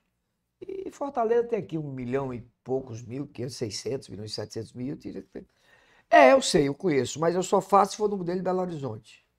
Eu quase não respiro direito, de tanta alegria. É, e eu disse, olha, Pague Menos tem já 20 lojas, 30 lojas, é, ela pode perfeitamente fazer esse trabalho. Ele você topa fazer desse jeito? Topo, topo fazer desse jeito. Eu acho que é arriscado e tal, mas eu topo fazer desse jeito, não tem... E começou, meu amigo. É, Dinheiro vendendo vale transporte, aplicando dinheiro. Aí eu estou na Bolsa de Valores, meu amigo Raimundo Padilha, do conselho, tal, lá sentado na mesa, reunião do conselho. Quando o Padilha diz as corretoras deviam ser igual a banco. Receber conta de água, luz, telefone, Aí minhas pernas, aquele, aquele mesmo insight que eu tive quando estava comendo buchada de bode para abrir farmácia, quando é, Viu a lavanderia, o quando abriu a lavanderia e vender vale transporte, deu para receber conta de água do telefone. Eu eu comigo mesmo, a corretora eu não sei, mas a Pague Menos vai. Ai, Aí voltei, para dia da licença, tenho um assunto, saí, já fui bolando, matutando, é, fiz a primeira ligação para a Cagesse. Deus manda, Pague Menos, eu gostaria de é, falar com o financeiro. É, o que o senhor deseja? Não, porque eu, eu queria receber as contas é, na farmácia para facilitar a vida do pessoal e tal. Desligaram o telefone. Ixi, É. Nem passaram para nada. Para encurtar a história, Carlos, eu, eu fiz 29 contatos para receber a primeira conta. Entre ir, voltar, assinar contrato. Aí, água, luz, né, na Coelce, primeiro foi... telefone na Teleceará. Primeiro foi água, aí eu fui implantando aos poucos. Mesmo critério. Quanto você quer? Eu não quero nada. Eu tenho esse modelo aqui é, de consignado, do, do eu recebo e lhe pago. Três dias. É. E se, e se por acaso eh, roubaram de. Não, é o banco, não tem problema. É, meu amigo, ah, os bancos funcionam de 10 às 4. A gente funciona às 7 da manhã, 10 da noite. A gente chegou a receber 70% das contas do Ceará, de Fortaleza. Depois implantamos no Rio Grande do Norte, Pernambuco, Bahia, por outro lado, Piauí, Maranhão. E aí era recebendo dinheiro, aplicando no overnight. Hum, tinha saldo? Tinha, mês por outro dia. E alguns complicados, por exemplo, a certa altura, eh, roubaram o dinheiro e as contas. E aí, o que, que aconteceu? Eu não, eu, eu- eu- quando eu recebi o. Quando eu fazia o pagamento, no dia seguinte eu mandava para poder não cortar a conta de luz ou do telefone e pagar. Se levar as contas, como é que iam cortar a conta dos caras? Caraca. Na época eu fui no Jornal Nacional e fiz uma mensagem. Ficasse com o dinheiro, mas devolvesse as contas, porque ia prejudicar muita gente, eh, iam ter suas contas cortadas, e para a pessoa que fez eh, essa ação, não tinha valor nenhum ter a conta de alguém, conta, o canhoto da conta que tinha sido paga. Aí no outro dia eu recebi uma ligação que as contas que eu fosse na Igreja do Remédio, aquela que fica eh, em frente à reitoria, Sim. que no terceiro banco de trás para frente eh, estariam as contas. E aí todo mundo queria que eu fosse, que era uma armadilha e tal. Eu fui, eu, e que eu fosse só. Eu fui, entrei lá rezando, com medo, tudo. E realmente estavam as contas lá e deu tudo certo. Eh, e foi muito legal. E aí, o que que aconteceu? O, o assaltante, o ladrão, ele não é uma pessoa tão burra assim. Ele faz uma classificação ABC. Onde é que tem dinheiro? Então a Pagamento começou a ser muito assaltada. Eles iam na Bahia e chegava a marcar a hora. Ó, duas horas vem buscar o dinheiro, viu? E só- se não tinha, eles atiravam. Chegaram a, a coronhada na cabeça de funcionário e tal. Então nós fomos esvaziando, esvaziando, esvaziando. Foi o tempo que o Banco Central foi na PagMenos e disse: eu preciso afogar as agências bancárias. É, como é que eu faço? Eu quero ver esse modelo de vocês. E aí eu já tinha montado uma empresa, já estava informatizado, e a partir daí o Banco Central criou o correspondente bancário. É, loterias, correios, é, várias outras instituições passaram a receber também. Correio. É, foi esvaziando, foi esvaziando o nosso trabalho. E eu já estava perdendo muito cliente, porque os clientes tinham medo de entrar no pagamentos. Então eu resolvi suspender o recebimento, porque o negócio principal é a venda de medicamentos, produtos de higiene e beleza, não tinha sentido continuar. E em 1994, com o Plano Real, a aplicação caiu. Caiu. é. Aí eu passei a receber uma tarifa que era centavos, não compensava. O risco do, do roubo, do assalto, eh, já não tinha mais overnight, não tinha mais aplicação do dinheiro. Então, nós eh, mudamos essa história e fomos cuidar da, de outro negócio. E expandir. Uhum. Em 93, a primeira loja fora foi no Rio Grande do Norte. E a partir daí não paramos de abrir até que em 2009, em 2006, nos tornamos a maior do Brasil. E olha que um cearense é, ser o maior do Brasil em algum segmento é complicado, principalmente varejo. É. É, o, o gesto mais ousado foi em 2002. 93 abrimos o Rio Grande do Norte, aí fomos, tal. Em 97 abrimos Pernambuco e em 99 fechamos o Nordeste com a Bahia. Ia do Maranhão, do Pará até a Bahia. E aí passamos 2000, 2001, no dia 7 de junho de 2002, na Alameda Itu, entre Augusto e Padre João Manuel, nós abrimos a primeira loja de São Paulo. E aí a coisa aí, aí foi diferente, porque os, os grandes eh, donos de redes, as grandes redes do Brasil, o que, que é isso? Quem é? A Raia nunca tinha saído, a São Paulo nunca tinha saído, a Pacheco do Rio de Janeiro nunca tinha saído, a Araújo de Belo Horizonte nunca tinha saído, cada qual no seu quadrado. E, Uma cor de cavalheiros, né? e aí a gente chega lá e abre loja e, e logo em seguida abre um na, na, na Brigadeiro Faria Lima, lá perto do Lago da Batata, cheio de, de nordestino, e abrindo e abrindo, e os caras malucos criam uma estratégia, uma estratégia de marketing interessantíssima. É, É, a gente pegava a sacolinha. né? sacolinha, né? E distribuía com os camelôs. Isso foi antes de abrir a primeira loja. Não, não foi da primeira, na depois da primeira. É. É, em frente à à loja segunda, onde era a nossa, nossa sede lá, nosso escritório, tinha muito camelô. É, E aí a gente chegava pro camelô, dava 100 saquinhos para ele todo dia. Para vários, cada um ele dava 100. Ele pegava, vendia uma boneca, botava dentro do saquinho, vendia uma, uma sandália, um calção. E aí saía pela cidade com a pai dele. Esse cara tá vendendo demais.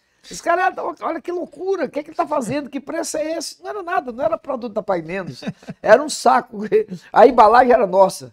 Aí a gente ia lá para a estação do metrô e distribuía Ah, esse saquinho, e os caras dentro do metrô.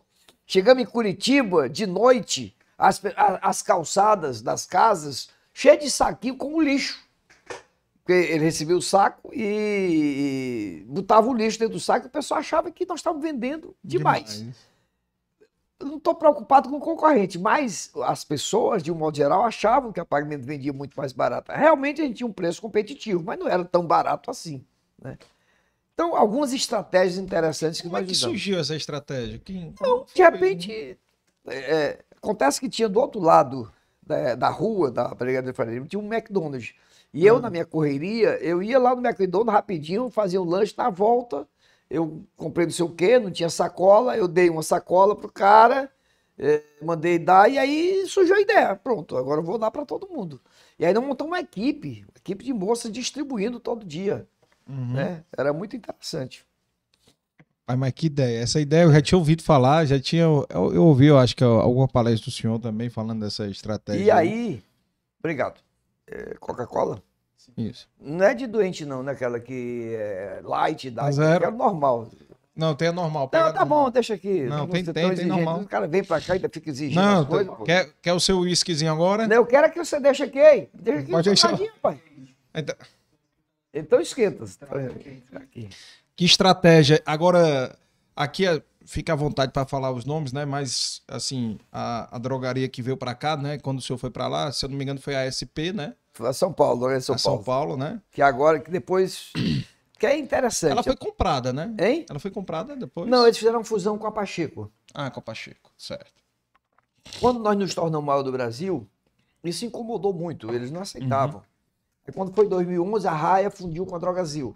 O senhor, o senhor se tornou maior do Brasil em número de lojas, Loja, em faturamento, faturamento e tudo. era maior. Tá. Aí, a, aí a Raia fundiu com a Drogazil, ato contínuo a, a São Paulo com a Pacheco.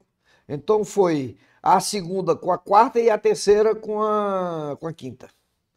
Aí nós fomos para terceiro. Agora com a compra da Raia, da, da- desculpa, da Extra Farma. Extra Farma, nós voltamos para segundo. E é porque a, a, a Raia com a, com a Drogazil ficaram muito grandes, né? Sim, Ficaram muito grandes. sim. São mais de 2 mil lojas, se eu não me engano. É, 2.500 lojas, mais ou menos. 1.500. É, porque eles estão no maior centro. Eles eram para ser grande desde o começo. Você comparar uma cidade como Campinas com Catolé do Rocha na Paraíba, que nós temos um poder aquisitivo totalmente diferente. Mesmo assim, nós somos felizes e estamos indo bem. É. E, e a, a sua maior praça fora do Ceará é Rio Grande do Norte, né? Não, não, Pernambuco já é maior, Já é Bahia é maior, São Paulo já vem em quarto lugar. Rio Grande do Norte é uma das mais rentáveis, mas não é a maior. Porque eu acho que o senhor deve ter algo em torno de o que uns 800 funcionários, mil funcionários lá já, né, também. É porque, assim, o, dado do seu livro é de 2017, né? O livro é 2017 já É, está acho que tem desatualizado um pouco. Bem, bem mais mil, porque colocando. É, é, é em torno disso. Tem uma extra... tem, tem uma, uma A média de 20 por loja, são, deve, deve ter uns 50 lojas, dá mil. foi. É. Tem uma, uma Porque estratégia não é só Natal, é o Rio Grande do Norte todo. todo, todo, Mossoró, todas as cidades, né? Caicó, Currais Novos, Mossoró. E, e tem uma. uma no, no seu livro fala um pouco da, da história da entrada em Pernambuco, né? Teve uns, umas. Pernambuco foi um, um grande lance. Eu- a gente, os pernambucanos acham que são maiores que Fortaleza. Quer dizer, acho que Recife é maior do que Fortaleza. Na verdade, Recife, isoladamente, não é maior do que Fortaleza. Não, Quando é você junta menor. Jaboatão dos Guararapes É. com Olinda, aí, Aí- fica maior do que Fortaleza. Dia desse, Em, eu em- brincando com o pernambucano, eu disse lá de Recife, e aí, como é que tá a periferia de Fortaleza? o cara queria bater em mim, né? É, Quando nós fomos para lá, a gente disse, o que, é que a gente vai fazer diferente para entrar em, em Pernambuco, em Recife, uma cidade maior e tal. Aí nós tivemos a ideia de contratar recém-formados, trainees. Então nós pegava, eh, selecionava, trazia para Fortaleza, dava todo um treinamento. A ideia é que uma pessoa que já passou uma temporada numa faculdade tem mais facilidade de entender que eu tenho que ter um bom nível de serviço, ou seja, tem que ter o produto, Sim. é, tem que ter um atendimento, tem uma série de coisas que está com a cabeça aberta. É, até então, a maioria dos atendentes de farmácia no Brasil, de um modo geral, eram pessoas do segundo grau. Não Uhum. tinha ninguém formado, salvo o farmacêutico. Mas aí nós passamos a ter só gerentes. Hoje em dia, é, acho que 100% é tudo já com curso superior dos nossos gerentes e, e uma valorização muito grande dos farmacêuticos é, um percentual altíssimo, acho que mais de dois terços das nossas farmácias são dirigidas por farmacêuticos. É, e temos, estou muito satisfeito com essa história. É, não, e a história. Então, Recife é que começou. Depois, em Salvador, a mesma coisa. Trouxemos baiano para cá, treinamos. Foi. Hoje a gente já treina na própria cidade, já tem, nós temos uma em Company, é, Apfarma, é uma, uma universidade nossa, interna, Uhum. para treinamentos, 300 mil horas de, de treinamento por ano, treinando todo mundo. É, é o que funciona hoje. Formando, Tem né? formar, formando formar, formando formar. os próprios, né? É, o- o- uma, voltando aqui um pouco no tempo aí na sua parte profissional, como é que foi a sua entrada na. A gente vai, vai e volta, né? Faça o que se quiser. Como foi a sua entrada na Pax? Assim, porque o senhor entrou na Pax como funcionário, né? Eu Inicialmente era funcionário da Credimus, da Credimus. 1976. Pronto. E o Bichucha, Bernardo Bichucha, Que é o pai do Adolfo, né? que pai do Adolfo, Bernardo, não. É, Ele era, ele era, ele era, da- ele era sócio do grupo Créditos. Ele, Sim. Elan de Paula, o Nilson, Zé Nilson lá de- do Rio Grande do Norte. É, E ele queria montar a bolsa. Então, me convidou para montar a bolsa. Montei a bolsa, ela começou a funcionar. Aí eu fui para o Rio de Janeiro, São Paulo, Belo Horizonte, para conhecer, para montar a bolsa. Aí foi uma jogada muito interessante. É, se você que está ouvindo está em dúvida com relação a sacrificar o hoje em troca de um negócio melhor no amanhã, eu ganhava, vamos supor, 100, saí para ganhar 50. Eu ganhava 100 na Crédimos, Uhum. e fui para a bolsa ganhando 50. E a bolsa não estava operando, não tinha como me pagar os 100 da créditos. Sem qualquer coisa, só para ter uma ideia de grandeza. Só que eu vislumbrei que eu ia ser o cara que ia entender de bolsa no Sará. Eu ia montar uma bolsa. que isso podia me beneficiar no futuro. Uhum. Então, eh, às vezes você tem que dar um passo atrás, que eu quero dizer isso, é, tendo um objetivo maior no futuro. E olha que eu já era casado, já tinha filhos e, e foi muito sacrificoso aí, né? Aperta Mas o cinto aí, aperta o cinto. Aperta o cinto. É, então eu fui, eu montei a bolsa, e aí o Bichucha tinha uma carta patente de uma corretora. E o Banco Central começou a pressionar: pô, você tem uma carta patente, você tem que botar a corretora para funcionar. Ou então vende. Uhum. Aí ele me chama. Diz, mas você montou a bolsa? Você não quer montar? Você vem montar a corretora? Aí, eu num gesto muito atrevido, Tô Bichucha, e dava relativamente bem com ele. Tô Bichucha, eu tô cansado de passar fome como empregado. Eu quero passar fome por conta própria agora. Me dê um pedaço. Aí ele me deu 15%. Aí nós começamos, e como eu já tinha, tinha ido ao Banco Central, tinha experiência de abrir a bolsa, foi rapidamente, é, em três meses, eu montei a corretora, inaugurou no dia 26 de maio de 77. Completaria 30 anos um dia depois. Com 15%. No edifício Lobrais, e já vinha do mercado financeiro, tinha os contatos todos das corretoras de São Paulo, do Rio de Janeiro, é, e fomos 77, 78, é, 79. Eu tinha 100% do trabalho e 15% do lucro. Doutor Bichucha, é, 100% do lucro e zero de trabalho. 100% não, 85, né? 85. Do lucro e zero de trabalho, que 15 era meu. Aí, numa das minhas viagens a São Paulo, eu fui conversar com ele. Então, Xuxa, me, me venda mais um pedaço aí, porque o negócio é difícil e tal. E eu já tinha visto que era um grande nicho de mercado essas operações feitas com os projetos da Sudene. Certo. Grandes clientes como Jaime Aquino, Finobras, o grupo Vicunha. É, eu digo, aqui, aqui vai ser um espetáculo. Eu nem tinha vislumbrado ainda a operação de Camaçari. Mas aí veio em seguida, aos seus 80. Ele disse, e ele tinha, ele era credor de uma empresa em São Paulo, e Mário Henrique Simons, ministro na época, disse: se você assumir a empresa, eu lhe ajudo a pagar a concordata e tal. E ele foi morar em São Paulo. É, e ele disse: não, não quero mais saber do Ceará, só vendo se for tudo. Os outros 85, vamos dizer assim. Na verdade, era só 75, porque ele tinha cinco em nome do Geraldo Rola e cinco em nome do Pérez. Digo, Tom Xuxa, e quanto é? Ele pediu um valor muito alto, mas eu tinha certeza que aquele negócio ia dar muito certo. Pedi para parcelar, ele disse, fale com o Samir Gereissati. Eu vim, Samir fez um contrato maravilhoso para o Bichucha, se eu deixar de pagar uma, eu perdia tudo que tinha pago.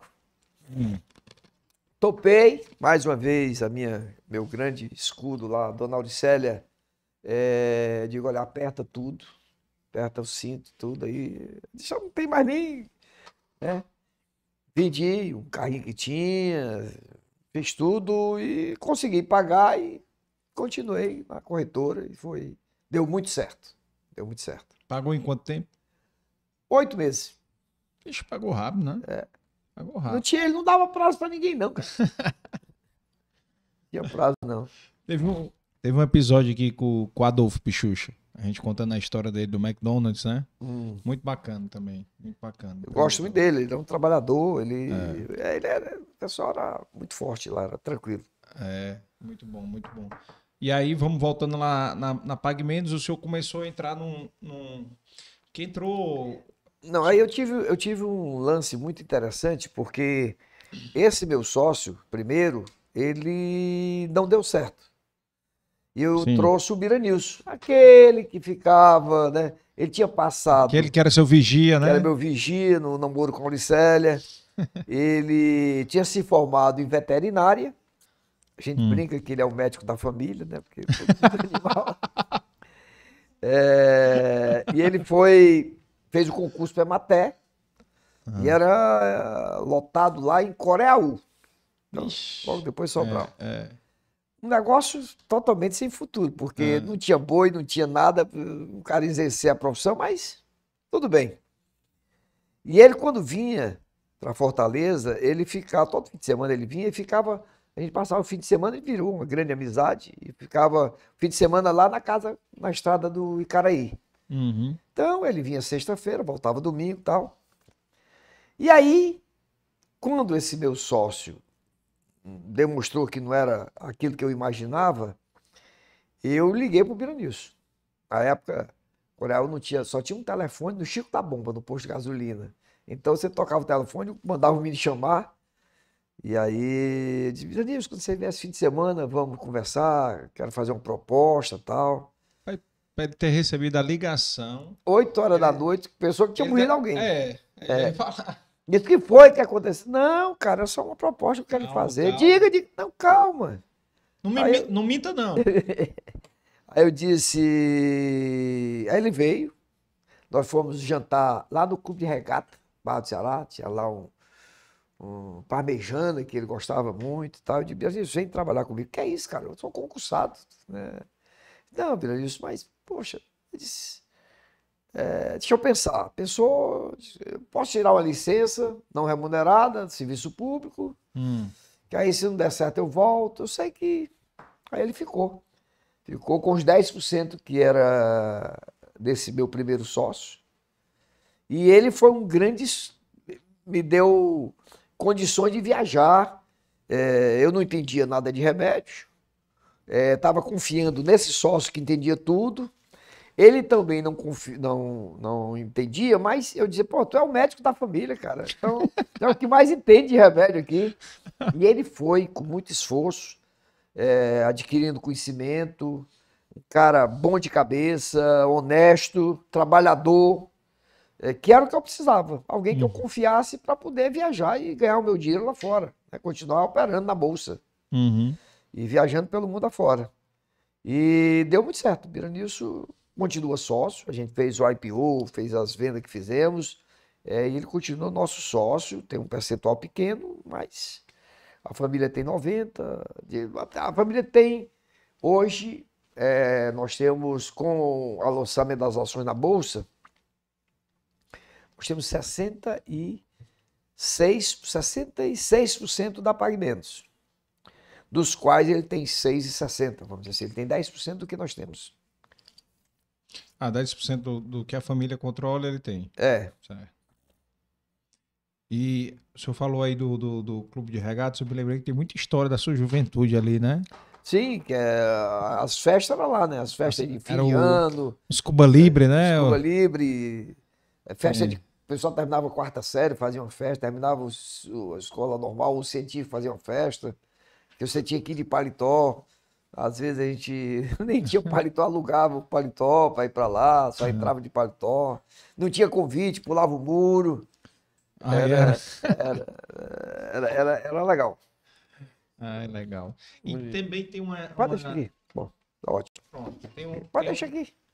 tem uma história também legal do, do- da, da sua infância aí do desse grupo aí do Bola 7. Como é que surgiu esse Bola 7? Não, a gente começou, a gente estudava para fazer o vestibular. Ah, E depois do vestibular ia tomar uma cerveja, um- uma coisa.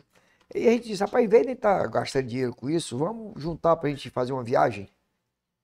E eram sete amigos. uhum. E dois, três deles passaram para medicina, eu passei para economia, outros passaram para administração, eles se formaram. E aos poucos foram se desgarrando, dois morreram, é, hoje ainda tem quatro. É, um foi morar em São Paulo, nunca mais voltou. Eu ainda mantenho um relacionamento, tem morando em Brasília, morando em Teresina, um oftalmologista, Irapuã Braga Venâncio, Joel Alberto Mesquita Pinto.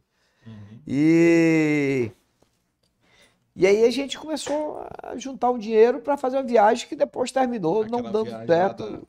A gente aplicou no mercado de ações e no, em fundo de investimento Hum. e não conseguimos ter êxito. Os nomes aqui, me corrija aí, Jackson Ari, Hum? Irapuã Venâncio, Rogério Cunha, João Sobrinho, aí depois entra O Jacques Ari é é agrônomo, o João Sobrinho, João, João Barbosa Pedro Sobrinho foi vereador de Fortaleza, tem uma empresa de segurança hoje, João Pinheiro. Ah, É, Irapuã, Irapuã é oftalmologista de Teresina. Aí o Rogério também. Rogério foi secretário num desses municípios aqui do interior, veio na política. Porque iniciou como bola 5 e depois entraram mais dois, né? Que Hum. foi o Oswaldo Fonseca Filho e o Oswaldo Fonseca era engenheiro, de Castro. era engenheiro da Petrobras e se deslocando com a cidade logo depois de Capuí. Ele ia para a plataforma da Petrobras, é, Timbal, né? Hum, Timbal. É, o helicóptero caiu, ele com. Não tinha 30 anos. Não tinha 30 anos. O helicóptero caiu e ele morreu. É, engenheiro da Petrobras. E E bons amigos, e foi um, um período muito bom. Período muito bom. Trabalhava muito, estudava muito, é, pouco dinheiro, né? Boas E- histórias para contar. Boas histórias, a gente é, Se tinha. divertia. É, mas dinheiro muito curto. E na Pague Menos aí, qual foi dessas aventuras aí do senhor que da, da, da expansão, qual foi mais difícil, a mais desafiadora? Foi essa entrada aí do mercado de São Paulo, porque as ameaças já vinham sendo feitas. É porque o pessoal já devia ver, ver o senhor entrando no mercado norte-nordeste todinho, né? Então já tinha. Não, eu, eu- eu- teve muita dificuldade de um modo geral, mas é, a entrada nessa cidade, a gente- depois da primeira, a gente descobriu uma tecnologia de administrar a distância e a gente sempre foi muito presente. né? Vamos abrir São Paulo? Então, estava lá, primeira, segunda, terceira, treinando o pessoal, e uma equipe na frente. É, não tivemos muita dificuldade das aberturas. As dificuldades que a gente tinha porque é, a gente viajava para os Estados Unidos, entrava no Walgreens, no CVS e via vendendo tudo. E a gente dizia, não pode, eu quero vender refrigerante, quero vender chocolate, quero vender sorvete. E uma lei de 1973 proíbe. Regulamenta o mercado, finance- o mercado farmacêutico. Verdadeira miopia Uhum. porque eu vendo na embalagem natural, é, não, não produzo, e a gente sempre teve muito é, questionamento. E a gente sempre foi disruptivo. Se existe essa palavra, nós sempre fizemos diferente. Por exemplo, primeira farmácia sem porta, 24 horas sem porta. Porque as farmácias 24 horas era uma janela em que o cliente ficava lá de fora e o dono da farmácia lá de dentro. Um risco muito grande. É. A gente diz, tira a porta. Se vier assaltar, assalta nós também, estamos juntos aqui.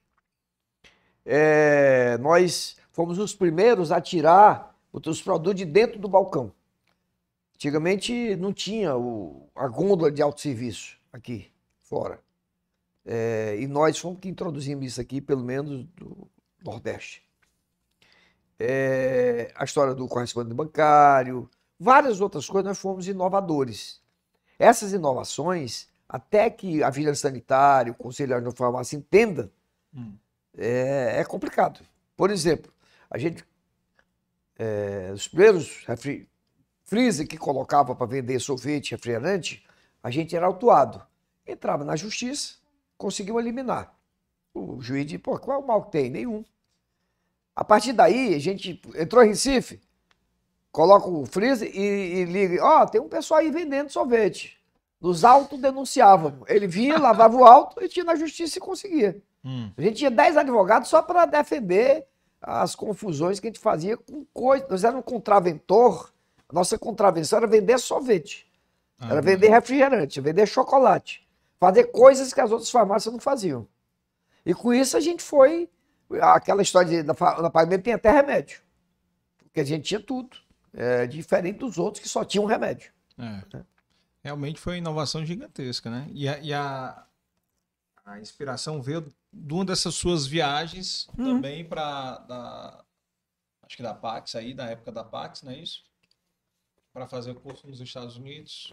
Viu o Walgreens ou Eu sempre viajei. Ah, É, mesmo na época da Pax, e mesmo na época da corretora, também ia.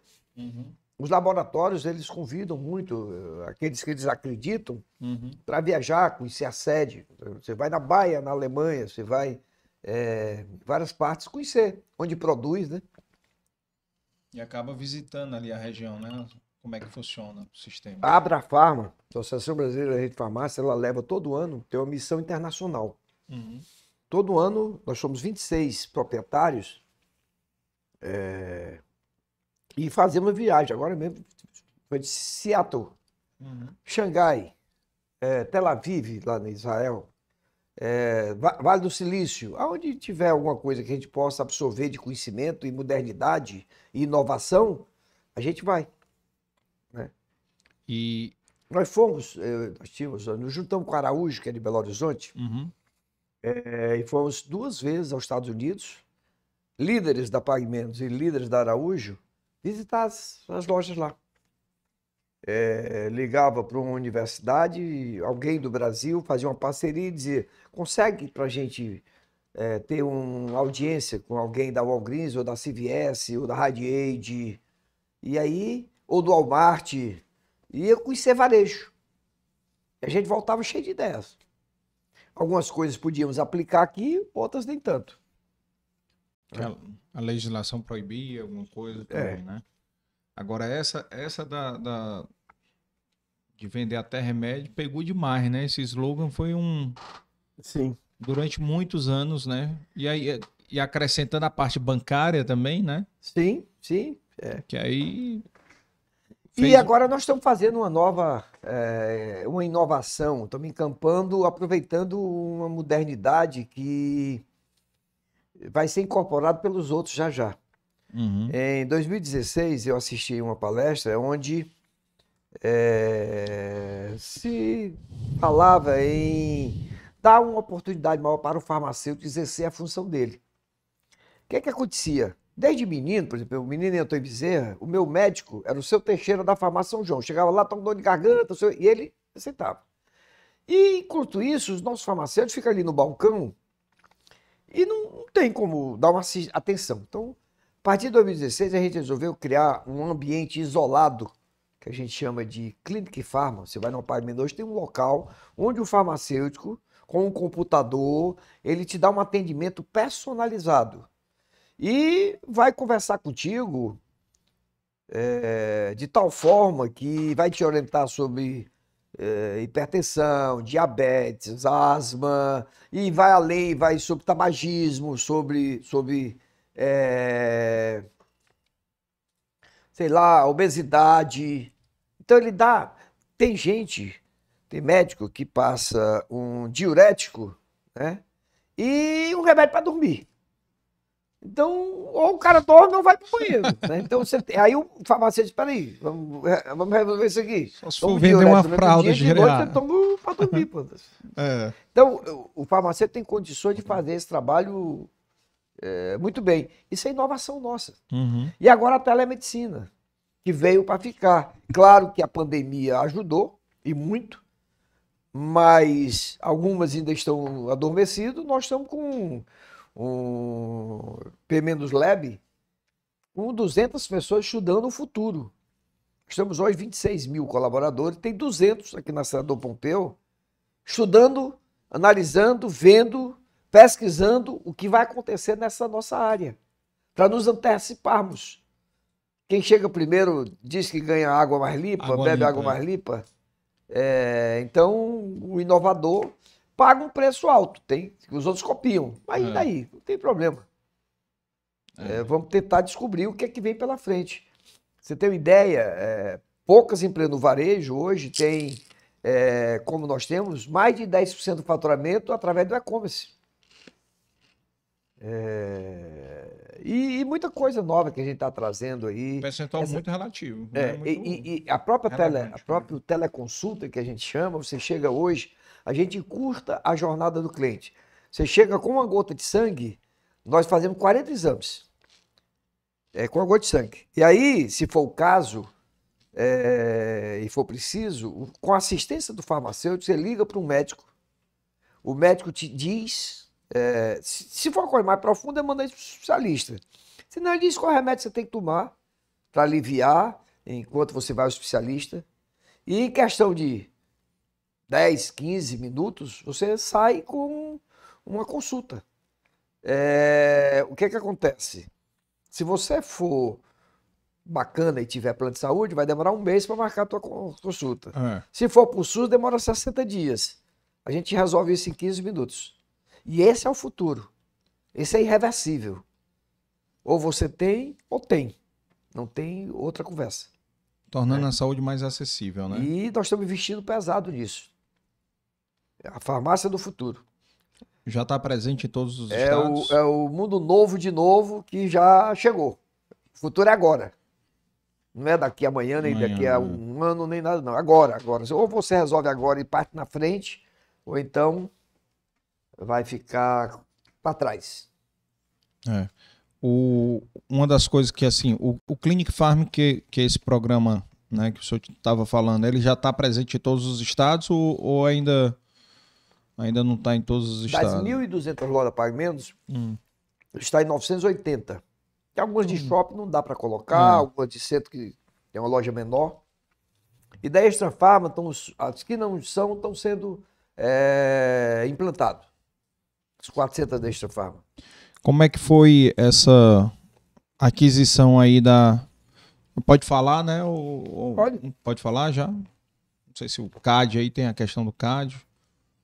Mas já foi dia liberado, 3 de, out- 3 de agosto, nós assumimos a, a Farma. operação? Demorou, problema do CAD, mais de um ano. Mas agora já tudo nosso. É, 400 lojas, 6 mil funcionários.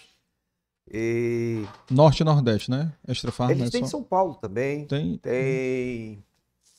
É, acho que não tem no Centro-Oeste. Mas tem no Norte, Nordeste e tem no Sul também. O, nós, nós encampamos dia 3 de, de agosto e estamos agora naquele período de ah, fazer o casamento realmente dar certo, né? Vendo onde a gente pode ter uma sinergia e levar, tirar um proveito. Onde tem superposição, superposição, sobreposição, contabilidade, tesouraria, retaguarda, a gente está adaptando, ajeitando. E nós queríamos, é, fomos o primeiro do Brasil, vamos para terceiro. E a gente não quer perder o primeiro do Nordeste. Hoje, consolidado, nós somos os maiores do Norte e Nordeste. Disparado, e o segundo está longe. Não é que está longe, aqui a gente tem a maior presença. E agora nós vamos começar a investir no Centro-Oeste. A gente já tem lote Centro-Oeste, no Sul, no Sudeste, mas vamos, demos focos, consolidamos o primeiro lugar no Nordeste e no Norte. Vamos agora atuar em outras áreas. É uma coisa importante que a gente, a- na Copa Desta Farma, nós tínhamos cinco centros de distribuições. Um grande aqui em Fortaleza e um muito grande em Hidrolândia, que fica a 18 quilômetros de Goiânia, na BR-153, Sim. que abastece o Centro-Oeste, é o maior CD da América Latina, centro de distribuição. Aí tem um específico na Bahia, lá em Simões Filho, tem um específico em Jabotão dos Guararapes, é, lá para Pernambuco, e um específico em Contagem para Minas. E agora com essa farma vem um no Maranhão, vem um no Pará e vem um em São Paulo, que a gente queria muito esse de São Paulo. E é, abrimos 80 lojas no ano passado, esse ano estamos abrindo um número superior a 100. É, não pode dizer no próximo ano, mas com governo, sem governo, ou apesar do governo, nós vamos continuar crescendo. A gente acredita muito no Brasil, é, mas acredita de, de investir. Porque tem gente que acredita, mas fica aplicando dinheiro lá fora, fica com dinheiro É. debaixo do colchão. Não. Nosso dinheiro é aplicando, abrindo lojas, gerando emprego, gerando riqueza através de salário, através de impostos.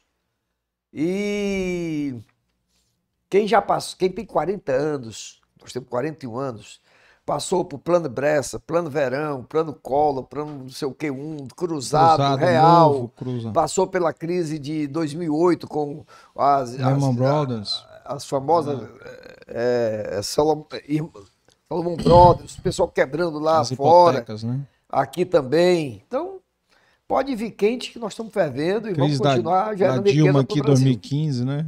Hum? Teve a crise nossa econômica Sim. em 2015. Crise gigante. Até uma, uma questão que eu ia lhe, lhe perguntar. Hum. o Ceará ele tinha bastante farmácias, né, regionais, né? Tinham e aí, aí eu tô me lembrando da minha época de, de, de criança, algumas que me vêm na cabeça que é, tinha a dose certa.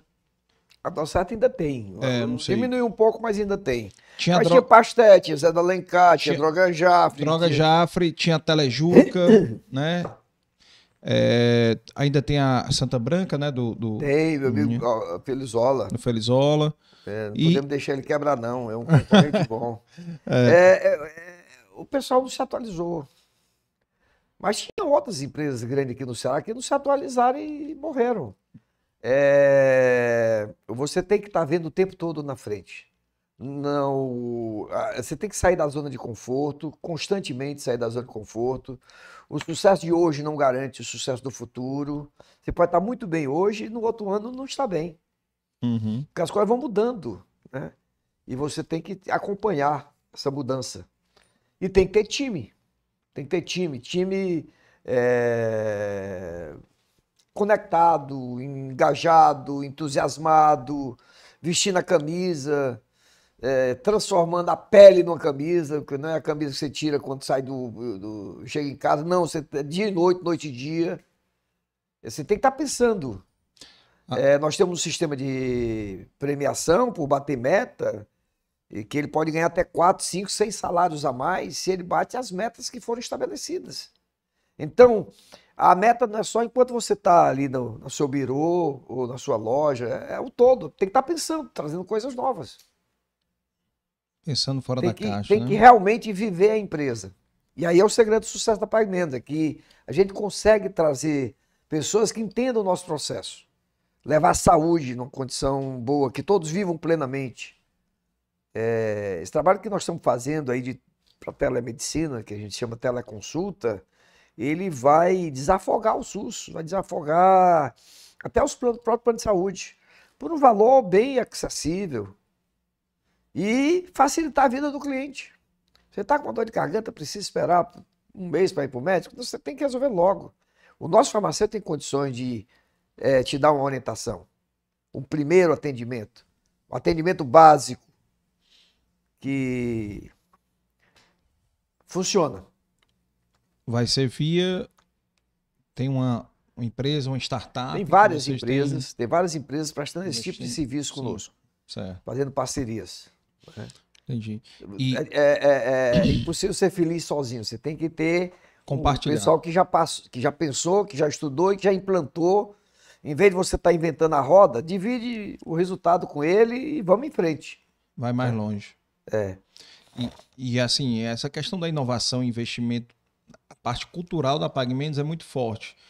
Que vocês também já desenvolveram até é, alguma- alguns produtos, eventos, né?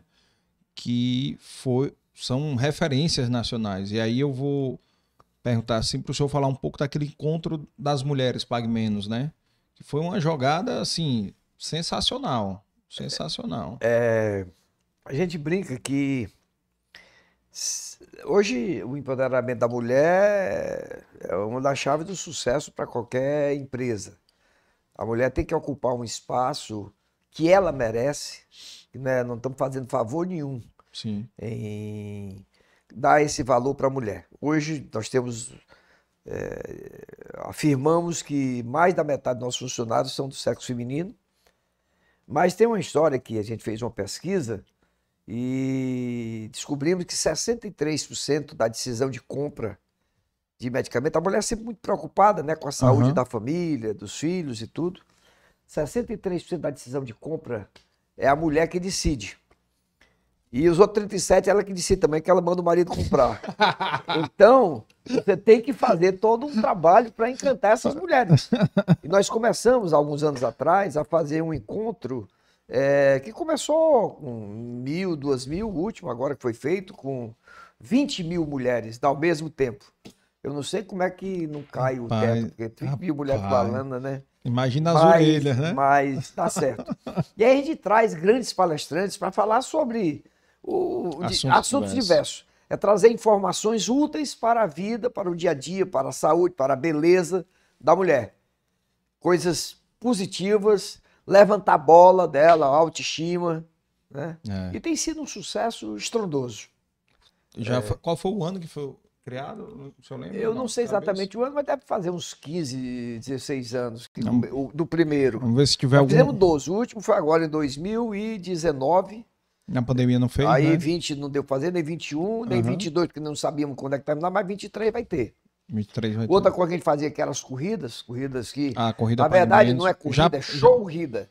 Já, A gente já um participei, show. já participei. É, vai ter agora dia 23, 23 de outubro. É. Próximo mês, dia 23. As inscrições já estão abertas. É bom Encerra muito rápido, viu? Hein? Encerra muito rápido É. as inscrições de vocês. A gente faz uma festa nessas É. corridas. E a corrida é o esporte mais democrático e barato que existe. Um Ah. par de tênis e um calção, você não precisa mais nada. Tá, tá feito. É né? verdade, verdade. E é saúde, saúde na veia. Saúde na veia. É, tem uma, uma questão interessante do, da, da história aí da, da Pagamentos que foi é, o que que motivou vocês a procurarem um, um, um sócio investidor, né? Que aconteceu em Sim. 2015, né? A General Atlântica, mesmo que entrou como sociedade lá do Arizinho, né? Sim. É, vocês tiveram essa oportunidade. O que foi que o, o pensamento do senhor nessa época aí? O- as pessoas têm muito medo de ter sócio. né? É. Isso é, isso é- eu aconselho que você, se precisa de dinheiro, você tem duas escolhas. Ou você se endivida e vai pagar um juro e tem que dar um Absurdo. retorno a qual- já com data marcada, ou você vende um pedaço e pega um sócio. Não é só vender por vender, não. Você procura um parceiro que entenda. Por exemplo, o General Atlantic, que 2016, final de 2015, partida, nós vendemos 17%.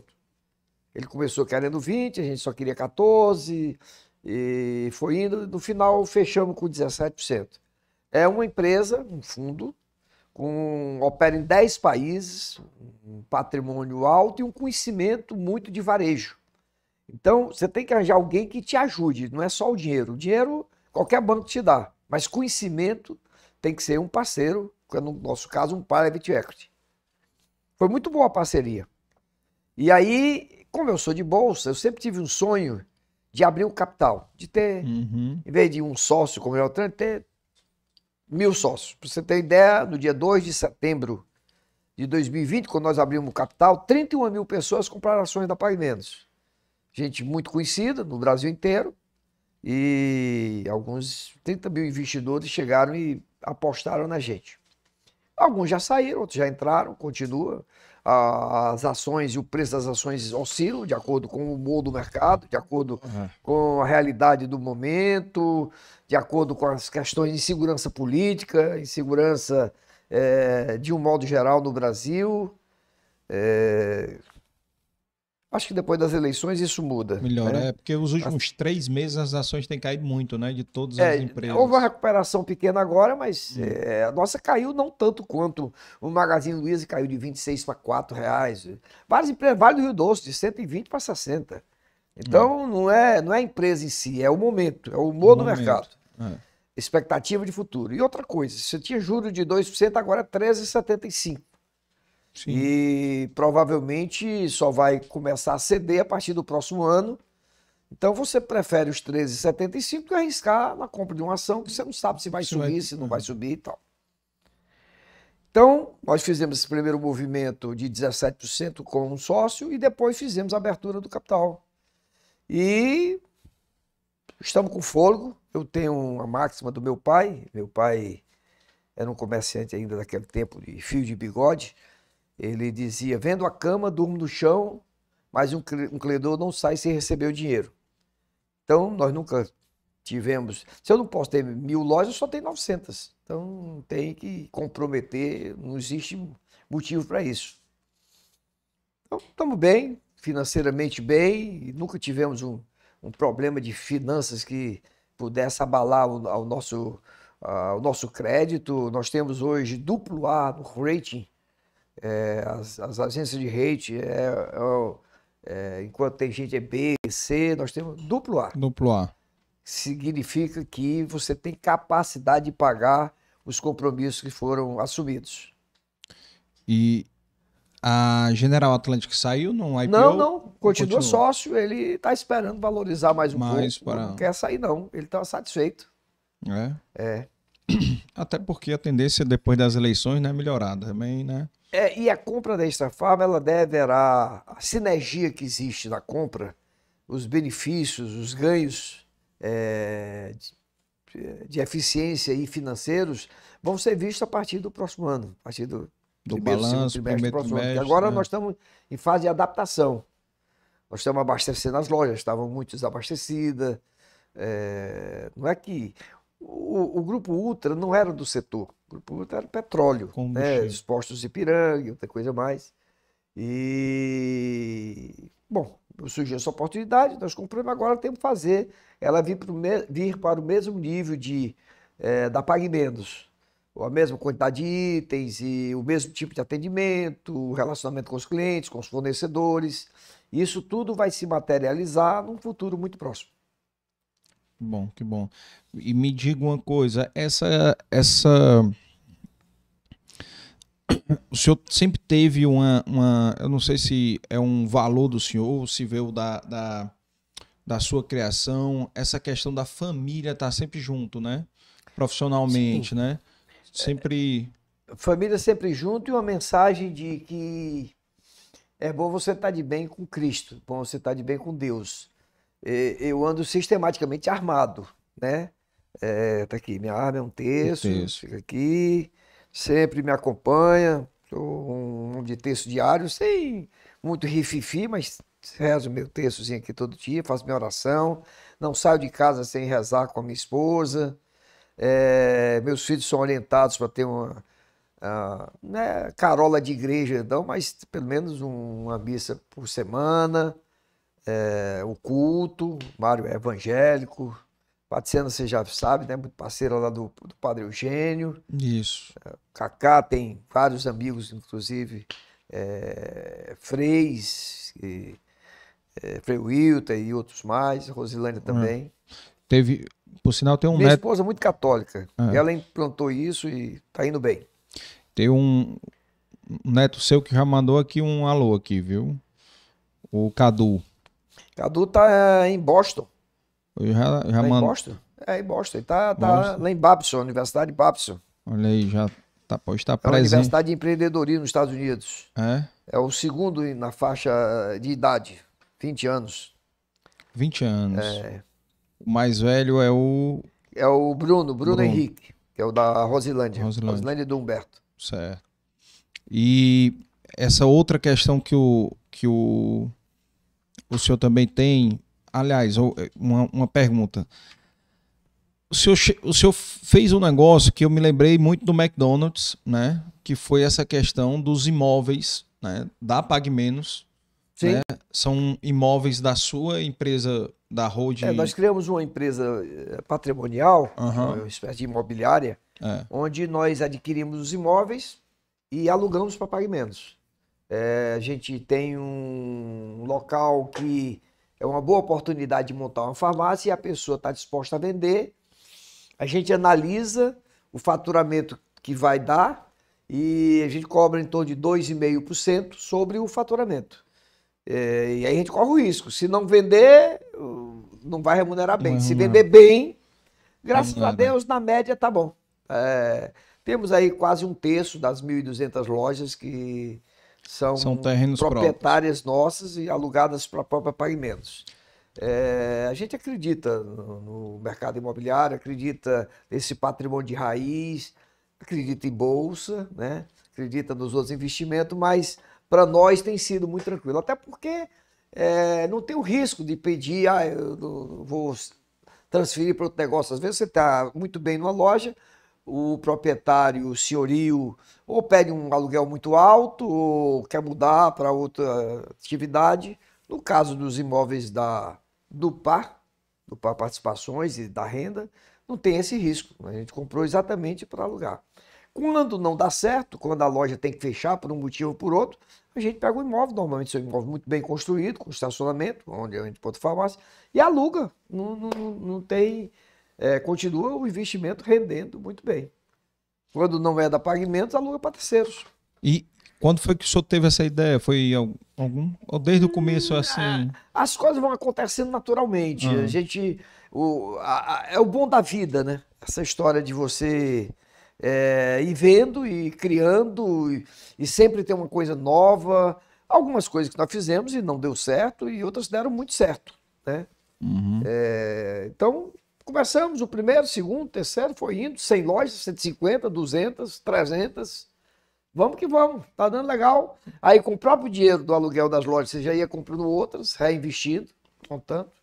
Comprando mais É. loja. Comprando mais Terrenos, pra né, loja, alugar pra imóveis, né?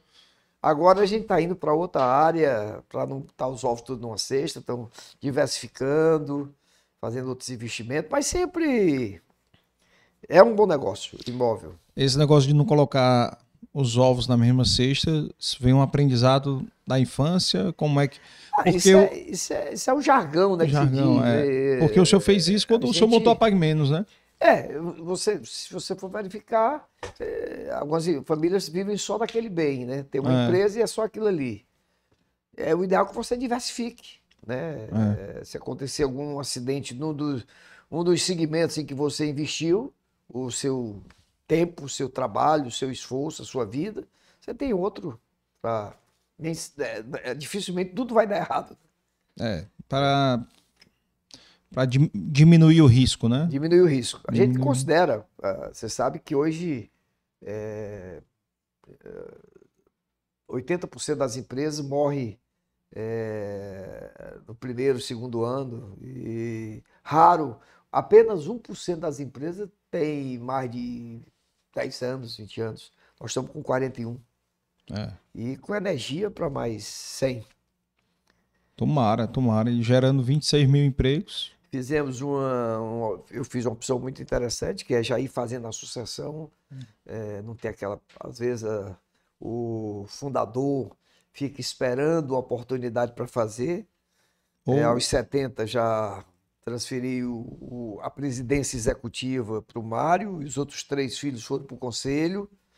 Agora, na abertura de capital, já transferi a presidência do conselho para a Patriciana. O Cacá está presidente da Biomática, a Rosilândia tem outra atividade. Então, a gente já não depende só da Pague Menos. E é, fazendo a sucessão em vida, enquanto eu posso dar palpite. Eles não querem, não, mas eu, esse outro eu me. Mas é bom e, e- e que bom que faz em vida, né? Muito Sim. melhor fazer em vida do que, hum, infelizmente, muitos não preparam, né? Não fazem esse, essa preparação dos sucessores para poder pensar nisso, né? Eu tenho um caso interessante de um tio que tem um envelope no cofre, caso ele morra, tem as instruções.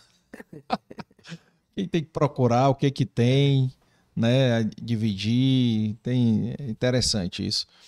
Mas também interessante que, que a- as famílias estão é, cada um tomando o seu, seu, a sua aptidão, né? Sim, Também. sua sim, sim. aptidão. E, e também tem essa questão de o senhor ter participação né, da- da- das empresas, acho que é da renda, né? Que tem participação em outras empresas, não é isso? Sim, a renda participa de. A renda, nem tanto, mas a do A do PAR PAR, do participa PAR. e a Prospar.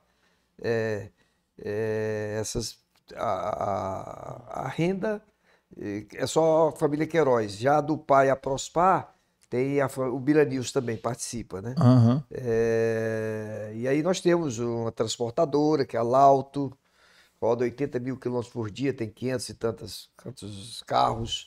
Nós temos a Biomática, que nós acabamos de comprar, acabamos no ano passado, nós compramos a parte do Zezinho, nós tínhamos comprado Sim. 50%, compramos mais 50%. A Lauto é parceria também, só 50%. Temos uma corretora de seguro, temos a Pax Investimento. A Pax fechou a corretora, mas continuaram outras empresas. E aí, se você for ver as que são voltadas para o social, você tem o Nina, é, o Hub, Hub de inovação, núcleo de inovação e novos negócios, que fica na Dom Manuel, onde era o prédio da Bolsa. Nós temos a Montada Valley, que é, é uma ideia e uma realização que me dá muito orgulho. É, eu sou filho da montada, eu ajudava a montada dando doando ambulância, na pandemia, máscara, é, avental, touca, luva, oxigênio, até que eu, viajando pelo mundo, vi que você muda a realidade é com empreendedorismo e com educação. Não especificamente a educação formal. Então eu montei lá em Amontada, o que a gente chama de Amontada Valley, com base no Vale do Silício. Vale do Silício. Que nem aqui tem um, a Rapadura Vale aqui em Fortaleza tem. Ah, tem o Rapadura Vale. É. É, o, nós montamos uma estrutura lá. É, primeira turma começou em fevereiro.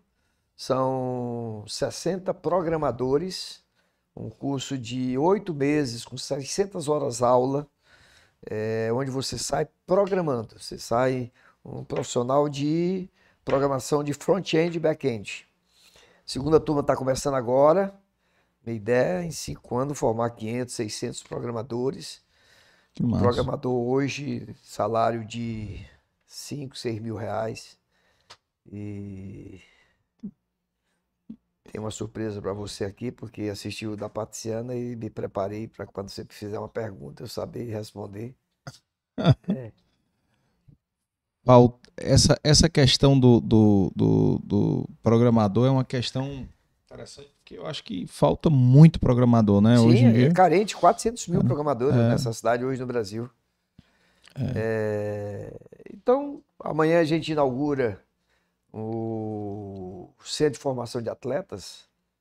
É, a gente fez um trabalho muito interessante no começo do século, através da Fundação Deus Maqueiroz. A gente, é, com a Pastoral Carcerária e o Ministério da Ministério Público, através da Vara de Execuções Penais, eh, eles indicavam os apenados de bom comportamento e nós tínhamos um sítio ali no Eusébio, eles plantavam pimentão, cebola, coentro, eh, tomate e iam abastecendo os presídios. Com isso a gente pagava dois salários, dois terços de um salário mínimo e eles ficavam lá até que em 2010 o Ministério Público disse, eu tem um secretário de Justiça, uma senhora disse, não, eu não estou com gerência sobre isso. Aí nós montamos um fábrica escola, Espécies pela Vida, é, onde com a indústria eletrônica a gente monta, monta tomadas e sete horas da manhã o presídio manda deixar e cinco horas da tarde manda buscar. Nesse período ele pode conviver com a família. Até que em março de 2020, com a pandemia, o presídio não pôde mais mandar e voltar, porque traria o Covid. Ficou esse vácuo. Nós tínhamos no nosso centro de distribuição aqui do Tirol, Tirol, você vai na leste-oeste, do lado direito, depois da Marinha, é Pirambu, Nosso Senhor das Graças, lado esquerdo, Tirol e Carlito Pamplona, onde fica o nosso centro de distribuição. Sim. Ao lado, em 2011, a gente construiu uma quadra de futebol de salão, um campo de futebol, para atender aos familiares dos nossos funcionários da Pagamentos como todo. O São João comemorava lá uma festa, um aniversário, e montamos uma escolinha. Quando foi agora, com a- o impedimento do- de continuar com os, os apenados, nós resolvemos investir na formação de atletas. Na verdade, o que a gente quer mesmo é formar cidadãos, ela é uma região de alta vulnerabilidade social, região muito carente, tem algumas facções, e nós estamos com 250 crianças formando.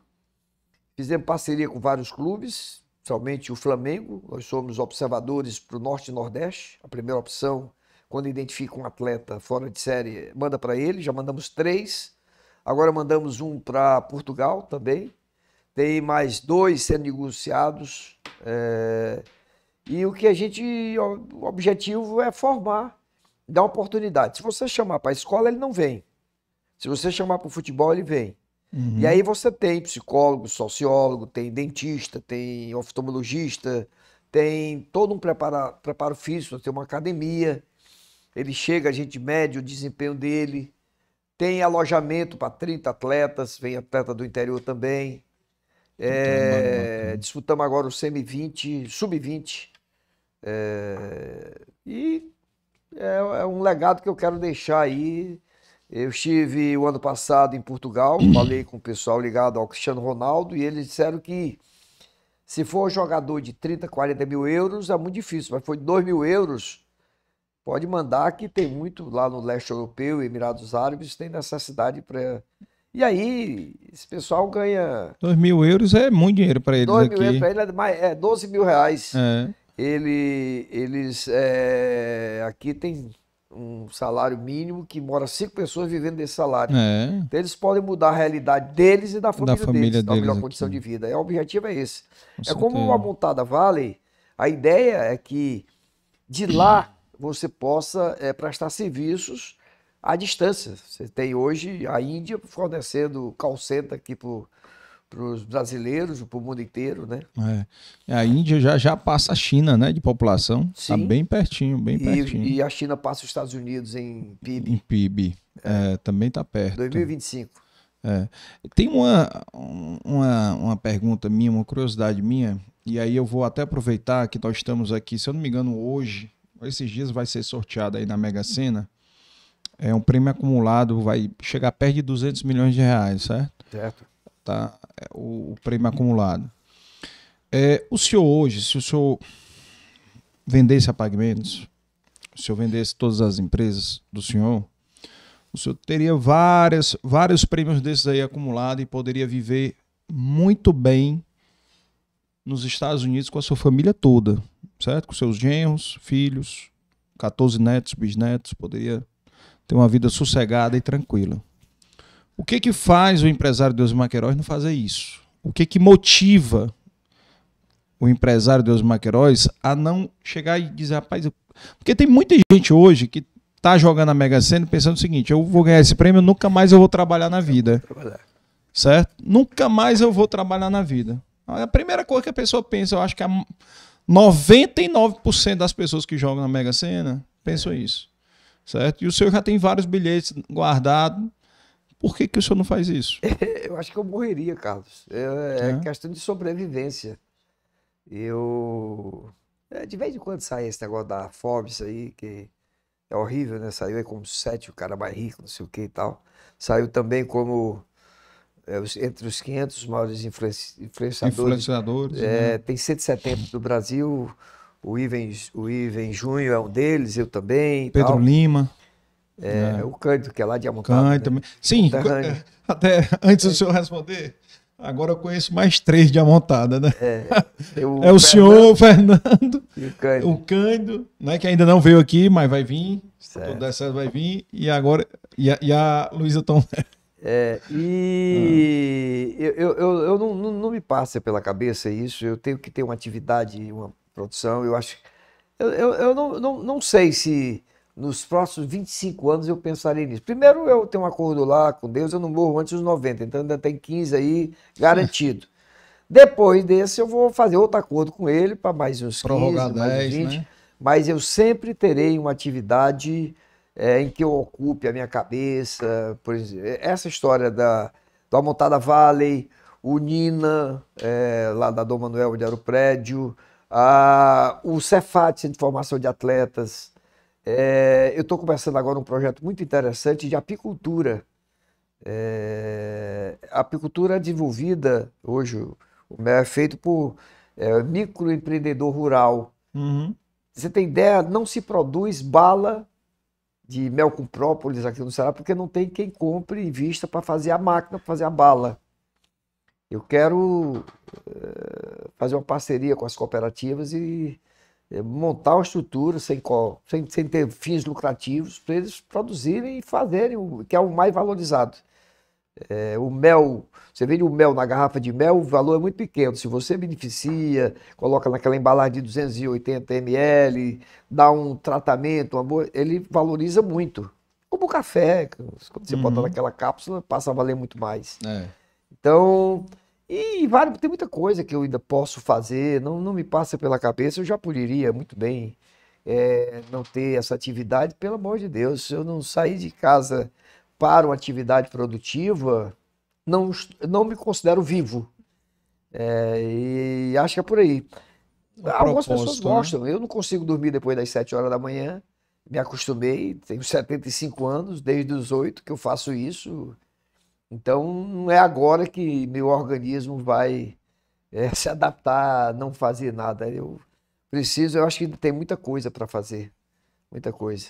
E eu gosto da bolsa. A bolsa, eu desde 71 que eu opero bolsa, então eu tenho uma carteira de ações que eu considero um amante, um amante ruim, safada, porque ela te dá alegrias e dá tristeza, né? Dá tristeza, muito Dona sei. sabe, a Dona É, cuidado sabe. aí, viu, que eu não tenho amante não, viu? Eu tô só compadre, que eu imagino como seja.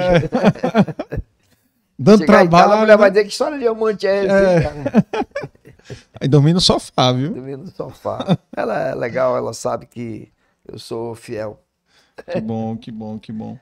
E falar, é, em falar em fiel, o senhor também, é, a sua história com, com ela é, tem alguma coisa a ver também com a sua infância, na sua adolescência, ter se envolvido no centro da mocidade católica, né? É, o, o namoro foi assim, era, tinha já 14, 15 anos Ah. antes de.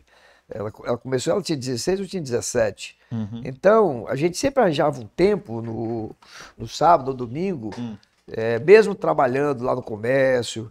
Aliás, a mãe dela me co- comprava na minha mercearia, né? Ela vinha, é? ia fazer a feira no domingo de manhã, ia lá e, e vendia goma para ela e tal. E dava um vinha, Já dava desconto? umas olhadas assim, né? É, já dava umas paqueradas. E lá no centro da Mocidade Católica, o CMC, estava havendo um ensaio com uma quadrilha. E, e ela estava lá ensaiando a quadrilha e a gente começou. E vez por outra tinha uma tertúlia, né? Naquela época, Hum. 1964, é, tinha tertúlia à noite. E quando era feriado, sábado, a gente ia para essas tertúlias. E no começo foi muito difícil, ela não queria namorar comigo, foi preciso eu me cercar de, das amigas dela para pedir e tal. Ela até que ela teve pena da minha insistência e, e aceitou. Aceitou no dia 30 de outubro de, 2000, de 1964. Ixi, lembra da data, aí. Foi. Não, claro, se eu não souber, Maria chegar em casa, tão frito, tá doido? É, e aí foi um começo, a família dela, no primeiro momento, alguns irmãos me conheciam e sabiam que. é, na verdade, eu não tinha dinheiro, né? É, Não é que eles fossem interesseiros, não. Eles achavam que eu talvez não tivesse, era. é, fosse ter, sei lá, brincava muito, alguma coisa assim nesse sentido. É uma família muito boa, muito, muito legal. Depois que passaram a me conhecer, então, passaram a querer. Falar nisso, a primeira vez que eu tive um diálogo com meu sogro Hum. era. Eles criavam abelha.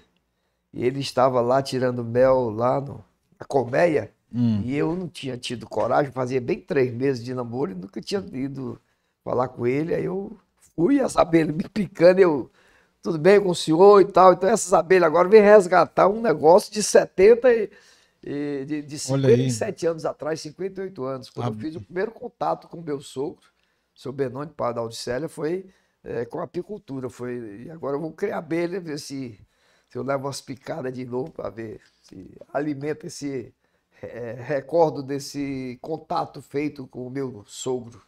O senhor, tem uma histó- 1964, 65. o senhor tem uma história com a abelha realmente, né? Porque tem a história lá da. Sim, Do a, pico da- da abelha.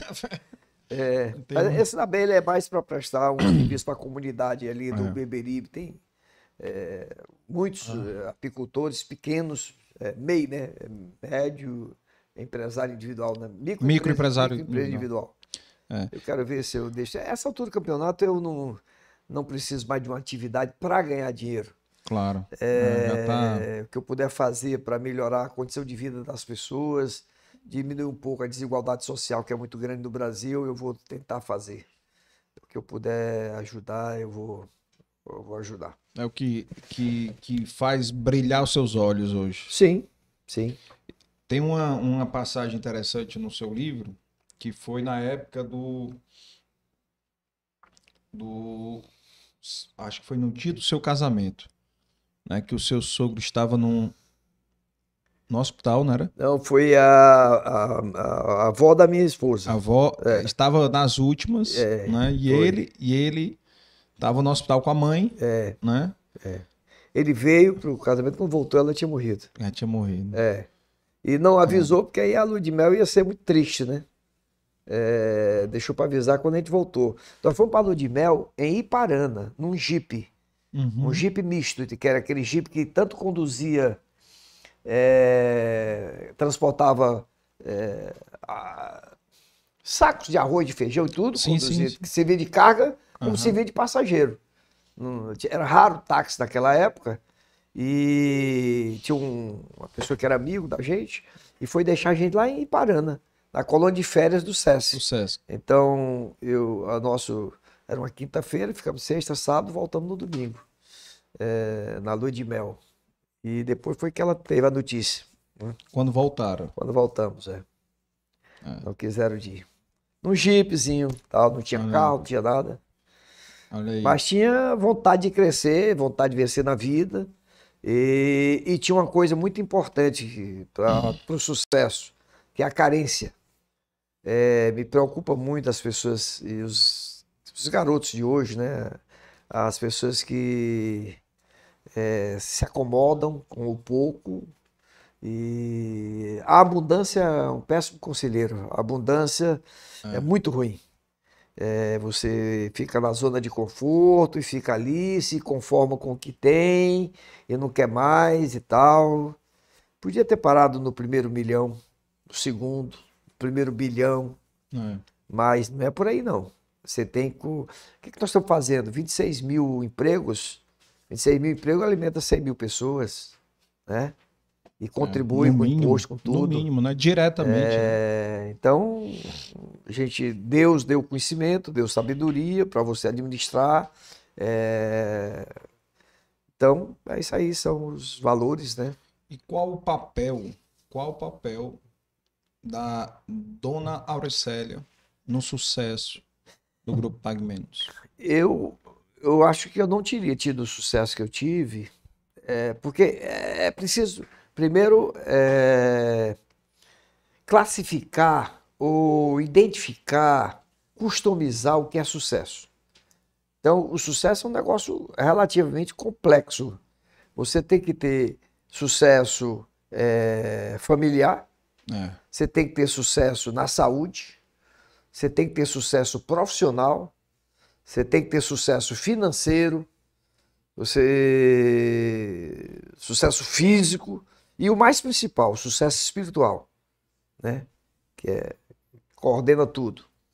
Então, eu acho que ela participa de todas essas áreas. Ela na família sempre foi o sustentáculo. Eu pude viajar, eu pude sair, ela ficou lá na educação dos filhos. Sucesso financeiro, ela é uma pessoa econômica. A gente tem dinheiro, mas ela não esnoba, não esbanja. A gente viaja o que aconselha ela a consumir. Se você for ver no profissional, é, no familiar, no financeiro, na saúde, preocupadíssima com a saúde, não só minha, como da família como um todo. É, religiosa, uma companheira que dizem que casamento é loteria. Você falou em loteria, eu ganhei todas essas aí que você falou. Várias megas É, da virada. Várias mega cena em ter casado. Eu acho que é, foi um casamento legal. Eu não sei nem se eu mereço tanto assim, o quanto ela é importante para mim. Eu talvez não tenha é, correspondido. Claro que eu me esforço e para corresponder, mas com certeza ela é muito mais importante no meu sucesso do que eu propriamente dito. A tranquilidade de você chegar em casa e ter uma companheira que não vem te encher o saco e tá junto contigo e vamos que vamos e vai dar certo é muito importante. Esse, esse seu jeito, é, que é assim, pelo que, a gente, pelo que eu li na sua história, pelo que eu tenho acompanhado, o senhor sempre foi um, muito positivo. Né? Sim, o muito otimismo positivo, ajuda muito. otimista, né, entusiasmado. Então ela, ela lhe ajuda nisso, ela lhe dá um, a segurança para o senhor realmente pisar no acelerador na sua vida profissional. Não no acelerador, mas ela não atrapalha, já é muita coisa. E ela, e ela é parceira, ela vamos juntos, né? Não tem essa história de que. É, não vai e tal, aceita bem. É, se você imaginar, nós temos, eu falo, acabei de dizer que tem mais da metade, eu trabalho com 20 mil mulheres. Nunca houve um caso de qualquer tipo de ciúme, de... isso não existe no nosso, nosso, no nosso universo. Aliás, não existe no pagamento. O pagamento faz um esforço muito grande para que o marido saiba que a mulher dele vai ser respeitada lá dentro. E a esposa sabe que o marido vai ser respeitado lá. Essa história de assédio é visto de uma forma, sei lá, não existe isso. Tem que respeitar e saber o limite. Tem casamento? Tem. Vários funcionários casaram lá dentro. É, agora, é tudo consensual. Né? Uhum. Eu, resumindo, diria que não sei se existiria uma parceira melhor do que a que eu tenho, tive nesses últimos 51 anos e, e no namoro também. Acho que nós nunca brigamos assim para valer. Uma coisa certa é que a gente nunca dormiu bunda com bunda. A gente, sabe, sempre Nunca se dormiu tem brigado. alguma, se tem alguma confusão, a gente resolve. Eh, se tem algum mal-estar, resolve, dá um beijinho e vai dormir. Esse é o melhor Guarda conselho. rancor pro dia seguinte, não tem isso. É. Né? E a gente tenta passar isso pros filhos. Pra você ter ideia, todos só estão com mais de 20 anos de casados. Uhum. A gente acredita muito nessa união familiar, companheirismo. E para quem tá assistindo, assista o, o episódio da Patriciana com o Davizinho, do Amari, né? Sim. Que, que falaram muito aqui que o foco foi casamento e eles falaram exatamente, não, a gente briga, a gente entra em acordo, né? Porque é normal, né? Porque Sim, as claro. pessoas é Somos normal. seres humanos, É, temos nossos desejos, nossas vontades, né? É, exatamente. Então é normal discordar. Os problemas é, todo, todo mundo tem, independente da classe social, né? Problemas no, no casamento. Então foi muito bacana. Depois vocês procurem lá. E, e é muito bacana ouvir isso do senhor, né? Porque é, tem uma companheira que lhe ajudou, que lhe motivou, que, como o senhor fala também, ajuda também, não atrapalhando, criando rixas, né? Alguma coisas, né? Empecilhos, isso aí também é importante. Agora, eu acho que teve um momento que o senhor deu uma dor de cabeça para ela. Deve ter tido. Deve ter tido vários. Vários, eu não Deve sei ter tido é. vários. Mais um que, que eu vi aí no seu livro que eu queria que o senhor falasse era aquele episódio daquele problema de saúde que o senhor teve. É, no começo do século, dois- Acho que foi 2000, né? 2000, 2000, 2001, É. eu no carnaval tomei todas que tinha direito e as que não tinha direito. Todos também. os campares, todos os E campares. aí comecei a ficar com a falta de ar e tal, e coisa, e, e não conseguia nem ficar. Ia trabalhar, voltava, não conseguia deitar direito, ficava sentado na cadeira. Até depois de fazer todos os exames que podia fazer, resolvemos fazer um- uma punção para ver se tinha água na pleura e se essa. Como é que estava? Nessa punção, é, ele coloca uma, uma agulha, como se fosse uma Agulha. de crochê, e puxa um pedacinho. Ele vai ver se tem pus, se tem sangue, se tem água. E quando ele puxou, ele disse: Não, tá normal. Âmbar é a cor normal da- do líquido da pleura. É, e, e não notou, saiu. Eu fiquei ali, foi do São Mateus. Eu comecei a passar mal. Lá ou Sim. quando chegou em casa? Não, lá no São Mateus. No São Porque Mateus. disse que eu ficasse uma meia hora enquanto passava o efeito da anestesia. Uhum. E eu, aí comecei a sentir falta de ar. Resultado, para encurtar a história, ele pegou um vaso. Esse vaso começou a sangrar internamente. Eu fui no UTI lá pro Apivida. A do Cândido, parceiro, amigo. no- o São Mateus não tinha vaga na UTI, fui para lá. E piorando. E eles batendo radiografia e, e aumentando a mancha, mancha. aqui dentro. Até que é, veio um avião da Weston, lá de Recife. Tentaram a UTI móvel da Unimed e não estava aqui, né? Tava não em, estava aqui. tava em operação em outro local. Exatamente. E veio a de Recife, lá da Weston. E eu fui para UTI, UTI no ar para São Paulo. No percurso, eu ia respirando com um balão de oxigênio. Faltou oxigênio no Parou balão. de fu- funcionar o balão. É, começou, são três horas de voo, né, daqui para lá. Lá pelo, um, faltando uma hora mais ou menos, uma, uma bolinha que marca que o, o oxigênio está saindo, Hum. ficou baixa. Aí eu fiquei respirando pelo ar que saía é, do vento ali, né, do ar-condicionado. Tentando respirar. Cheguei lá, morto, afogado em sangue. Uma médica chamada Carmen Valente Barba, é, que socorreu, cortou, tirou 3 litros de sangue. Já, o pulmão já não estava no canto, estava forçando a barra aqui. E, mas resolveu. Resolveu. Eu fui lá, Deus disse, só volta e vai abrir loja lá para desgosto dos teus concorrentes. E, e eu voltei e agradeço Dois anos depois voltou para abrir loja lá. muito. Voltei, voltei para continuar a jornada de É. empreender no Brasil. Interessante que, que lá relata lá o, o episódio, né? O senhor não conseguiu o avião fácil e aí o, o avião foi com. Pediu o, o Julinho Ventura, não foi? Foi, Você- Julinho foi um grande parceiro, ele falou com, Hum. o. Como era o nome do cara que era. Foi deputado lá em. Ah. Ele era. Como era o nome, rapaz, do cara? Bom, Romeu muito Tuma, famoso lá no, lá no, São lá Paulo? no em São Paulo. Acho que foi o Romeu Tuma, Foi o não? Era senador, eu acho, que o né? avião descesse lá Em em Congonhas. de Marte, porque em já devido ao avançado da hora. Ah, eh, Carla, vou, vou- vou- eu trouxe aqui uma lembrança para você. O Cacá Uhum. soube que eu vinha para cá. Ele disse, pai, nós não podemos perder uma oportunidade uhum. eh, de divulgar a moringa. Peço o Carlos lá que ajude, pelo menos para dizer do que, é que se trata, né? e aí eu trouxe aqui, a moringa é uma planta que vem da África e ela não precisa de muita água.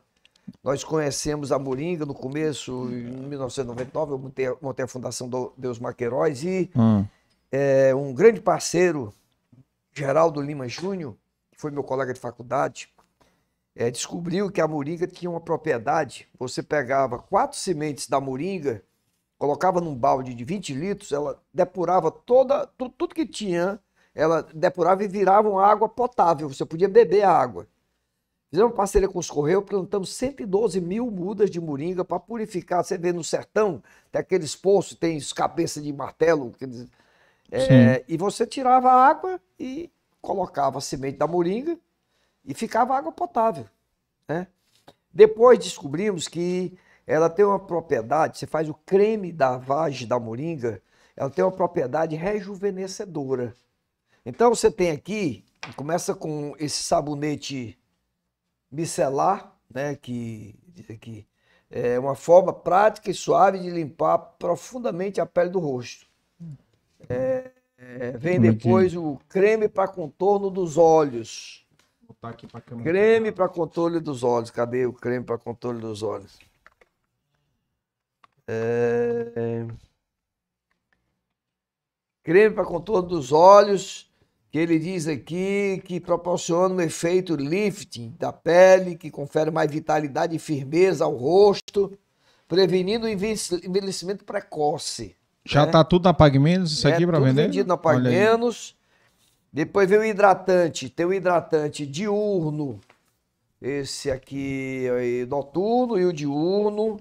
É, Protege a pele com FPS, fator de proteção 20, poder anti, antioxidante da, da vitamina C. É, vendo. previne envelhecimento. É, esse aqui é Sérum.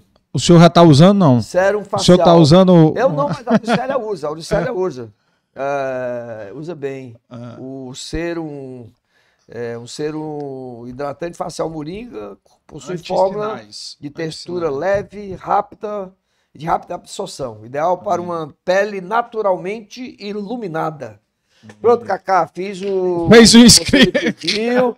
Fiz o comercial, E- tá e- aqui, fica pra você. Vamos, vamos marcar Ele depois pro Kaká vir uma aqui. mensagem pra mim, olha que Ah. coisa linda aqui. Ah, Ame, tire fotos e resiste sua vida. Sempre diga que ama as pessoas, que elas são importantes para você. Procure sempre falar com novas pessoas, estranhos, enfim, amplie sua rede de contatos. Faça coisas que em geral teria medo de fazer. De vez em quando ligar o botão do. Aqui pode É falar. normal, faz parte. Porque um dia morreremos e muitos de nós não terão lembrança de nada que fizemos, certo ou errado. Por fim, aproveite sua vida e faça dela a melhor história do mundo. Algo que as suas próximas gerações terão orgulho de compartilhar. Aproveitem a vida, a maravilha que é viver. Carlos Queiroz, olha aí. Olha aí, poeta tá- virou tá- poeta virou poeta. Agora tem filho poeta É, também. É isso aí, coisas Que melhorando. bacana, bacana. Obrigado aí, viu, Cacá? Obrigado aí. A gente vai depois aqui bater uma foto, botar aqui no Instagram e marca o, Tem o Instagram deles aqui? Tem, tá aqui. Tem as Pronto, vamos marcar, vamos marcar. O do Cacá também já tá adicionado. Eu queria lhe perguntar é, qual foi o momento mais difícil da sua vida profissional e qual foi o momento mais difícil da sua vida pessoal. A, a- a profissional e a pessoal se confundem muito, mas é, profissional nós tivemos alguns momentos, como por exemplo 2008, a gente, nós tínhamos um centro de distribuição que era manual e nós dissemos, não, a gente já tem tamanho suficiente para automatizar a reposição de estoque para as lojas. Uhum. Contratamos uma empresa chamada, é, ah, não, não lembro agora o nome, é, que ela é uma- era austríaca, com tecnologia alemã, é, Knapp, o nome da empresa, uma das maiores do mundo, e passamos uma temporada para implantar. Saímos da Francisco Sá e fomos ali para onde era hoje, a sede hoje, que é na, é, essa que eu te falei, ali no bairro do Tirol. Uhum. A Antiga, onde eram as instalações da Cibresme, antigamente. Sei. 2008. Quando nós fizemos a mudança, a gente mandava, em média, 500 mil unidades por desculpa. dia. Então, tudo bem. Uhum. 500 mil unidades por dia para as lojas.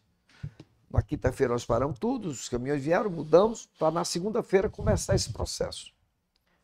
Então, a- a- essa- é- ela, o sistema funciona, chama-se Pick to Light. Ela vem numa esteira, para aqui na frente do operador, acende a luz onde está o produto e diz quantas unidades ele tem que botar dentro daquela caixa. Em vez do funcionário ir lá, não, ela, a, a- a caixa vem. Você bota ali, a caixa vai, para no outro e assim vai sucessivamente. Final do primeiro dia tinha aqui 500 unidades, 500 mil unidades para as lojas. Em 2008 a gente já tinha entrado em São Paulo, já tinha mais de 600, 700 lojas. E quando terminou só tinha 50 mil. Poxa, 500 mil, 50 mil, só 10%. Foi que houve. Não, não, é o ajuste. Dia seguinte, 500 mil mais as 450 do dia anterior. Aí a esteira começa a correr, aí você vai e tal. Chega no final do dia, 60, 70, 80 mil. Poxa, 950 só tem 80. Vamos que tenha sido 100. Então no dia seguinte, as 900 com mais as, as 400 que faltou, 1.300, 1 milhão e 300 mil. E aí, 100 mil, 200 mil. Aí o desespero, eu deixei, eu não estava abastecendo as lojas. Hum. Liga para a Alemanha, pega avião, manda vir e tal. Os caras passaram 30 dias para corrigir o defeito. Nós deixamos de abastecer as lojas. Perdemos as vendas, porque se eu não tenho produto, se eu não abasteço, eu não tenho produto. É. As duplicatas começaram a vencer e a gente não tinha dinheiro para pagar. Eu tinha uma reserva. Vão ser os 10, ficam os dedos. 2008 coinci- coincidiu com a crise lá nas Brothers, bolsas de Nova é. York, né? Lá, Lehman Brothers e E companhia, né? companhia, as seguradoras. Uhum. Então foi um momento muito difícil, a gente achava que ia quebrar. Então, em termos de empresa, foi um momento complicadíssimo. Pessoalmente, eu tive um, um momento muito doloroso, dois momentos muito dolorosos. Um, quando o Mário foi sequestrado em 2006, Sim. passou 12 dias no cativeiro. É um negócio, assim, uma experiência muito, muito difícil. É, você tem um filho e Vou mandar um braço, vou mandar um dedo, vou mandar uma orelha, vou mandar não sei o quê. Então, muito, muito complicado. E o segundo foi no dia 8 de setembro de 2018, um processo, é, um, um, equívoco num processo que eu terminei indo para a cadeia, indo para o presídio da irmã Imelda. Passei 100 dias até declarar, fiz, depois saí. É, inexplicável a coisa, acontece.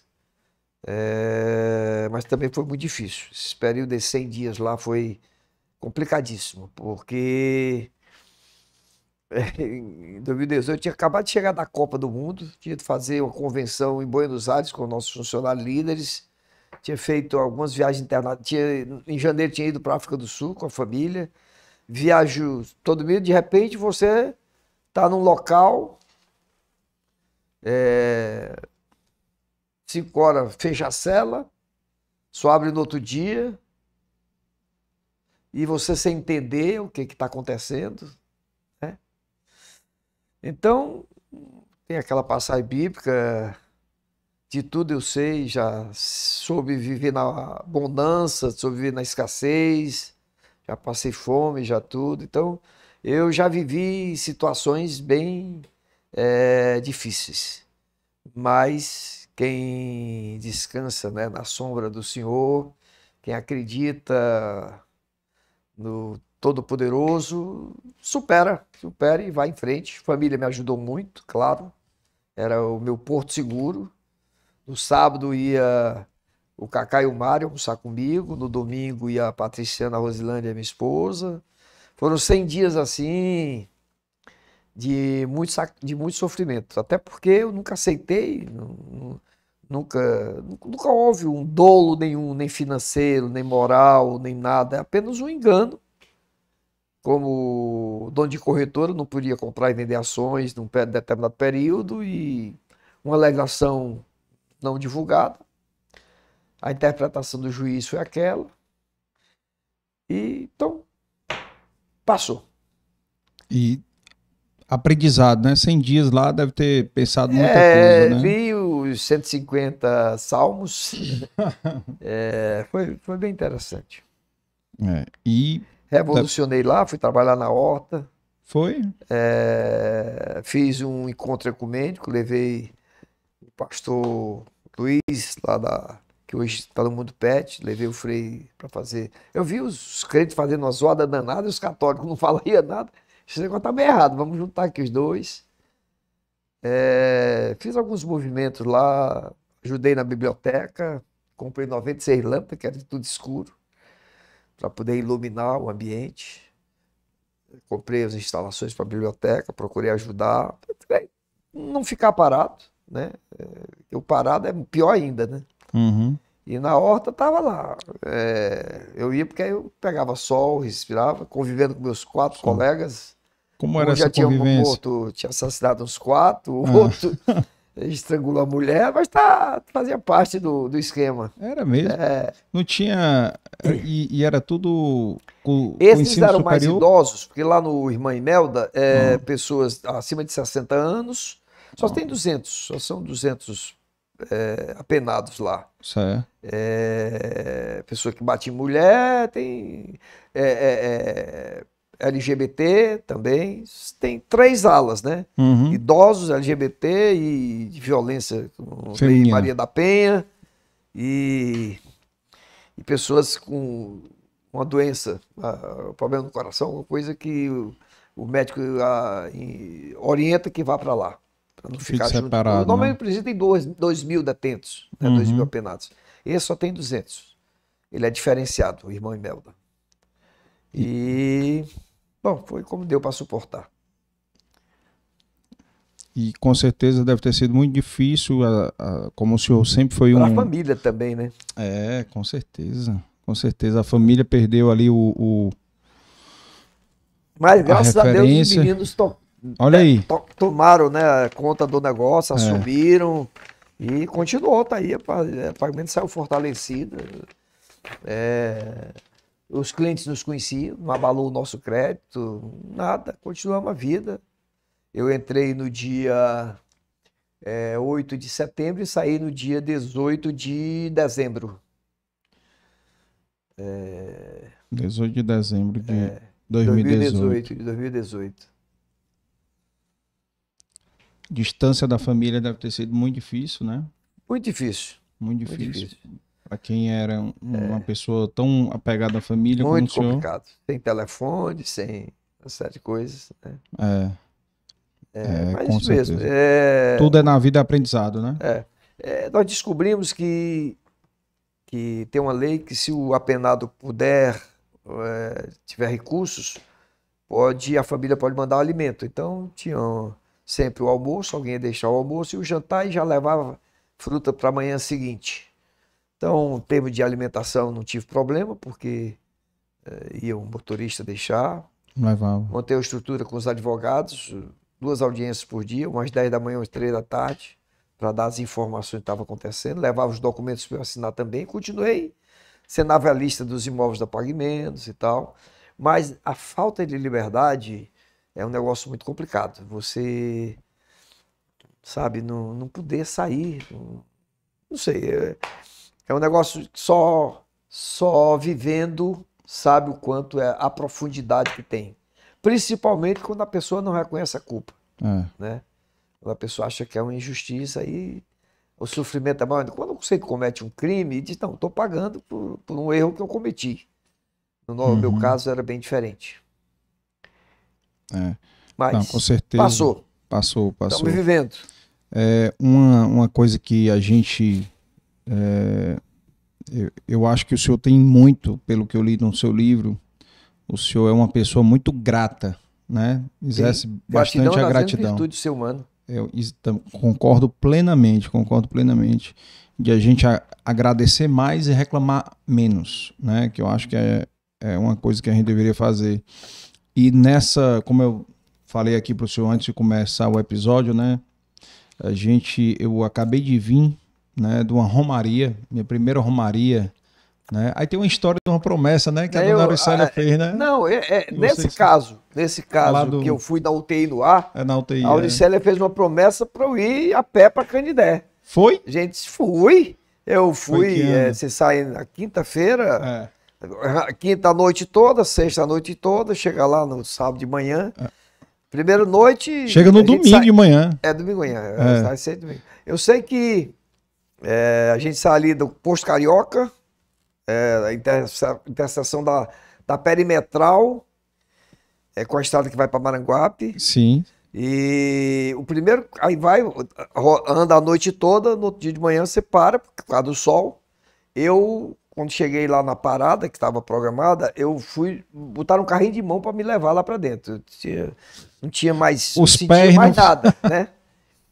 É, aí quando foi 4 horas da tarde, que retomou a caminhada, eu saí por ali, caxingando, mas consegui, consegui ir, até que eu fiz.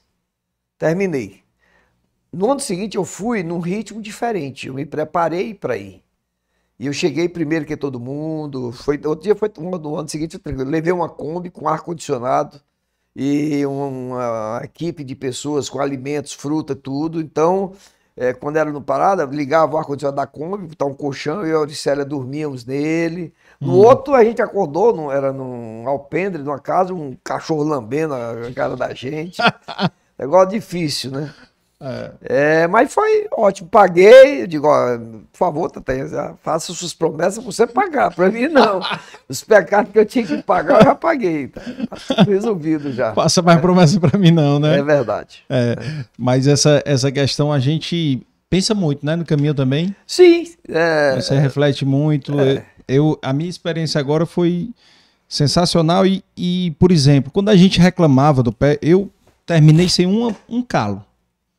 E eu vi as pessoas no primeiro dia, primeiro dia foram 32 quilômetros, segundo dia 25, terceiro dia foi 21 e depois mais 19. Sim. Para terminar. O, as pessoas no primeiro dia já estavam cheias de calos. Até mandar um abraço para todos que estão assistindo aí do, do Amigos pela Fé. E, e o Paulo Helmut e o Enizinho aí, que coordenaram o grupo, muito bem. A cada dois quilômetros tinha hidratação, sabe? Estava muito bem organizado. Mas a gente às vezes reclama, e aí isso faz a gente valorizar mais as coisas da vida, né? Porque às vezes a gente reclama do carro da gente. Pô, tu tá a pé ali, andando 100 quilômetros, cara. Tu tá andando 100 quilômetros, tu começa a valorizar mais é o jumento que passa. Tu valoriza uma bicicleta, tu valoriza, né? Então assim, você começa a valorizar. E quando você reclama dos seus pés, quando você chega no posto lá que vai dormir e reclama dos seus pés, você lembra que no final de semana anterior foi o outro grupo com mais que era só homens, esse que eu fui era misto. No grupo anterior tinha um cadeirante Nossa, deve ser que difícil. foi pedalando com a mão, hein? Meu Deus do céu. entendeu? E aí você reclamando porque tem bolha no pé, porque tá com o pé doendo, né? Então sempre que eu pensava o pé doendo, eu lembrava do cadeirante, eu parava em reclamar. Aí o pessoal brincava o seguinte, quando a gente tava subindo, né, a gente tinha pena do cadeirante. Mas quando tava descendo, eita, o cadeirante aqui se deu bem. Deu bem. Na, na- na descida, né? É. Na descida. Mas a gente, a gente começa realmente a, a valorizar mais as coisas, né? Pequenas coisas, né, doutor Neusmar, que a vida nos proporciona. Como a liberdade, né? Como a família, né? Como o dinheiro não é tudo, né? Verdade. Claro que o dinheiro lhe proporciona, lhe ajudou é, na sua questão do seu problema E de ajuda a saúde. ajudar, né? E, e ajuda a ajudar os outros, Isso. né? Que é o que o senhor está Precisa de dinheiro fazendo. para ajudar esses meninos aí. Precisa. né? É, com certeza, com certeza. Isso aí é sensacional, sensacional. Eu queria, an- antes de encerrar aqui, eu vou querer aqui, ó, hoje, pessoal, a gente está num episódio especial, comemorativo aqui de um ano. Quem está assistindo aqui, que ainda não é inscrito, por favor, se inscreva aí no, no Dei Valor. Tem muito episódio bacana, histórias riquíssimas aí para vocês é, se inspirarem. Tá? Então, procurem aí depois essas histórias. Tem a história de casamento, recebemos já vários empresários aqui do Ceará, recebemos personalidades. Tem aqui algumas lembrancinhas aqui que aqui eu vou ajudar ao senhor a não dormir no sofá. legal, legal, legal, legal. Isso aqui Ótimo. é o nosso parceiro aí, a Brielle, Veja, é, é. Eu já soube que o senhor, ninguém é perfeito, o senhor tem um mau gosto de time, né? Então aqui, eu tô, tô doando aqui, essas garrafas aqui é do... Do, Do Vozão. rapaz Do Vozão, que é do Sim. Cachaça Caio, Prêmio. Cachaça Aviador, produzida em Viçosa. Mas o aviador é devido ao Xande? Não, essa Cachaça Aviador eu- devido é que o dono é, pi- é piloto da Gol. Hum, O dono da cachaça é, é piloto da Gol e montou o nome exatamente por ele ser aviador, né? o, o, o Xande Avião tem um, tem um tem uns produtos que ele faz também que é aviador. É? É, Ah, que usa a marca aviador. marca né? aviador. Isso aqui tem um, uma cesta Nossa. de produtos regionais aqui que o- os Beleza, nossos mel. patrocinadores mandaram aqui. É, manteiga da na terra, entrada. manteiga, da, terra. Isso, Queijo coalho, queijo coalho, certo? certo.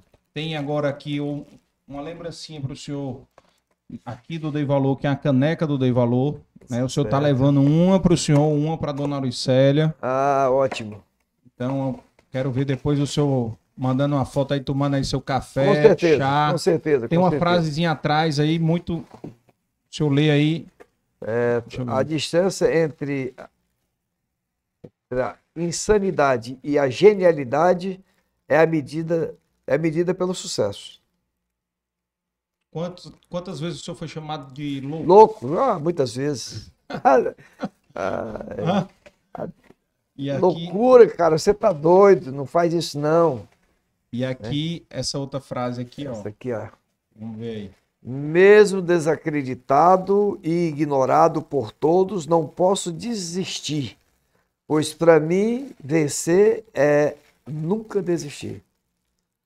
Muito Einstein. bem. Para mim Essa frase vencer é nunca Einstein. desistir. Aí. É isso mesmo. Acreditar, acreditar. Acreditar Eu, eu, tenho eu gosto muito do. A gente diz que se o otimismo não ajuda, o pessimismo atrapalha muito. É. É, eu uso isso realmente no dia a dia da minha vida. É, o otimismo vem na frente. Se não deu para acertar agora, mais tarde eu acerto.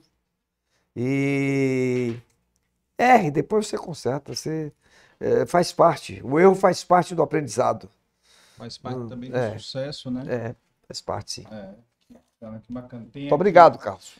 Aqui foi um, um prazer gigantesco aqui ter o senhor aqui compartilhando essa história, falar desses momentos também difíceis, né? Porque as pessoas acham que a vida do e o, o objetivo aqui do, do, do Dei Valor sempre foi esse, né? De mostrar que por trás do sucesso do empresário Sim. tem Tem um preço. tem um preço. Tem aí, aqui vocês estão olhando, um, um, um empresário que, na verdade, começou vendendo frutas, Sim. legumes, né? Aos oito anos de idade. Então, ele não caiu de paraquedas, as coisas não foram herdadas, né? Sim. Não caíram é, gratuitamente no seu colo. Então, suou para isso e que o senhor sirva de inspiração, né? Para não só para os seus 26 mil colaboradores, né? Que tem 26 mil só na Pagamentos, fora nas outras empresas que o Sim, senhor participa, sim, né? sim. Então, para tantos cearenses que têm o senhor como grande referência, né? E uma referência nacional, né? Que o senhor tem aqui, nós temos o, o episódio de hoje foi divulgado para CDLs, né? Então tem CDLs aí do interior que estão aí é, ligadas aí também, pessoal aí do interior, lojistas, comerciantes, comerciantes. E o senhor também tem uma frase do de sonhar também, né? De sonhar pequeno, sonhar grande. É o mesmo preço. É o mesmo preço, né? Tanto Você- faz. O, é. o gasto. Por isso pode sonhar grande. É, então é melhor sonhar grande. É, né? o, o- no livro Sonho Grande, do Jorge Paulo Lema, Uhum. tem uma parte lá que ele diz: quando a sua mulher reclamar que você está viajando e trabalhando muito, você diz que está comprando o conforto do futuro. Uhum. Comprando o conforto do futuro. É, é através do trabalho que você consegue os recursos para ter um, um futuro confortável, uma velhice sem problemas é, financeiros, pelo menos, né? Que Sim. possa atender às necessidades. E na velhice é que a gente mais precisa, principalmente na área de saúde, né?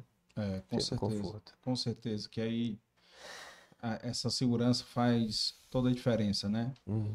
Mas que bom, que bom. Então, muito obrigado. Muito obrigado demais aqui pela Você não vai fazer a pergunta?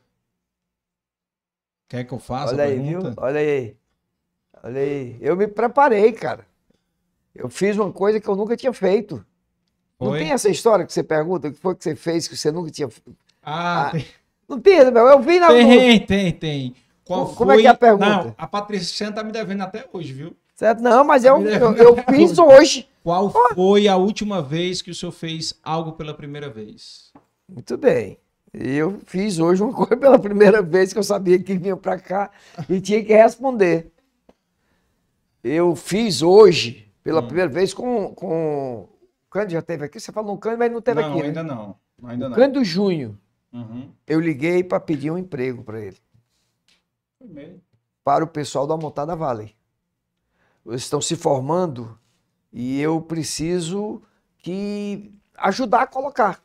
O que, que adianta ele estar formado e não ter onde trabalhar? É. Então eu vou fazer essa ligação para algumas pessoas, amigos, empresários, um Iven Junho, um Pio Rodrigues, um Beto Student, um Laurinho Fiuza e vários outros que eu não vou nem citar aqui. Eu comecei de. Eu vou começar logo hoje pelo Cândido. Liguei, porque quando ele perguntar, eu digo, eu fiz, eu fui pedir emprego. Fazia tinha muito- pedido pra ninguém. não, não, não me lembro se um dia eu pedi emprego. Ah, Não vai ser exatamente para mim, mas vai me ajudar na medida em que eu coloco o pessoal que está terminando o curso de programação lá, Certo. programadores, né, a montada. E a, a- partir de, daqueles primeiros que forem se empregando, vai motivando para os outros não desistirem do curso, porque isso é um investimento espetacular, um negócio que pode dar bons frutos, maravilhosos frutos. Então eu estava achando, ele- será que ele não vai perguntar? Ah, eu fiquei encabulado de lhe perguntar, fiquei encabulado. Mas que bom, que legal. Que legal. Muito E- bem. E, isso é um exercício bacana, né? Um exercício muito bacana. Isso aí, a, a Ah, apresentação sim, do- dos- dos tava aqui fora, né? Os meninos estavam ali. Muito bom. senhor. Perfeito. né? Então, assim, sensacional. Vamos já, já assinar Bom, aqui a, a parede aqui. Espero mas... que o pessoal, você que conseguiu, quem ficou até agora, pelo amor de Deus, que coisa, hein? É, espero que tenha gostado, tire algum proveito aqui da nosso, do nosso papo, da nossa conversa, É. conversa despretensiosa, sem nenhum interesse que não seja o de mostrar o que aconteceu na vida, né? E uma forma de dizer para você que o otimismo ajuda muito e saia da zona de conforto. Se não tem nenhuma confusão contigo aí, fique preocupado. No dia que não tem um desafio, eu fico, meu Deus, o que, que aconteceu? Que, né? A gente vive desses desafios que a gente vai vencendo. E outra coisa, os nossos problemas são nossos melhores amigos. Quando você vence o problema, você sai fortalecido, você está disposto a enfrentar e sai a musculatura cada vez mais forte. Acredite em Deus, vale a pena. Ele ajuda. A fé é um instrumento maravilhoso de dar uma certa tranquilidade, saber que tem um ser superior que nos abençoa. Peça, está na Bíblia, pedis e recebereis. Peça, peça ajuda. Se precisar, peça ajuda. Para você, para sua família, para seus amigos. Para o meu amigo Carlos aqui, que ele tenha sucesso Bom. nesse empreendimento de gravar é, perfil de um momento que você está vivendo, que cinco anos é diferente, sim, como sim, foi diferente sim. cinco anos atrás, ah. mas pelo menos agora você registrou, isso fica para a posteridade. Um dia, Total. não sei quando, alguém vai, pô, naquela época era desse jeito, que loucura. O, é. o, o, Davi Neto, daqui a 10 anos, já vai estar mais. É, o bisneto. É. Bisneto, né? É, seu é o bisneto. Neto, né? Tem razão, é o neto. Não, é seu bisneto. É, meu bisneto. Tá seu bisneto, Davi Neto, né? Vai, vai daqui, a, daqui a 10 anos já ter uma noção melhor do, do que o bisavô fez. É isso aí, Carlos. Mas, é, como o senhor fez um, um acordo com Deus de viver 15 e prorrogar 90. mais 10, né? Então, com certeza, ainda tem tempo aqui para o senhor vir ainda umas tem, duas vezes tem, aqui, ainda voltar aqui para atualizar as histórias, entendeu? Para atualizar ah. as histórias. E eu queria só de, deixar aqui um testemunho aqui. Quando eu fiz a arte de, de divulgação do episódio, que eu mandei para o doutor Deusmar no, no WhatsApp, Sim. ele fez uma observação. Carlos, eu tô achando que está muito muito tranquilo, muito light essa, essa sua arte pode dizer assim, Deus, Deus Mar promete contar tudo. Pronto. E contou tudo. Claro. Qualquer, todos os assuntos que envolve, né, que envolveu a, a sua vida, né, o senhor tocou aqui de uma maneira tranquila, né, e é legal que as pessoas saibam, né, sua versão, porque é, muitas pessoas sabem por rodinha de fofoca, por fofoquinha de, de grupos e agora estão vindo direto da fonte. Ao vivo e a cores. Ao, ao vivo e, as, e, a, e a cores. Então, assim, obrigado demais por, por ter compartilhado essa sua história e, e eu, eu acredito que a sensação que eu estou, obviamente a minha sensação é diferente, porque eu estou interagindo aqui com o senhor, mas que muitos estão tendo aí é de admirar mais ainda né, o empresário Deus Maqueiroz, a pessoa Deus Maqueiroz, conhecendo esses detalhes da sua história, conhecendo como o senhor é, é, enfrentou esses momentos turbulentos. Com certeza o momento do Mário também foi muito difícil, Sim, né? Claro. Eu acho que com certeza o senhor passou 12 dias sem dormir. Sim, né? a família então, toda. Família toda. É. Inclusive, quando eu fiz essa pergunta aqui para Patriciana, o momento mais difícil da vida dela, a pessoa, ela falou isso também. Ué. No sequestro do Mário. Então, assim, é, a bala realmente a, a vida da família, né? E novamente, muito obrigado, obrigado demais. Para mim é uma honra, né, no episódio de um ano, ter recebido o senhor aqui. Né? Tem muitos empresários do Ceará aqui, muita gente boa ainda por vir, né? Muitos amigos seus Sim. aqui ainda por vir, né?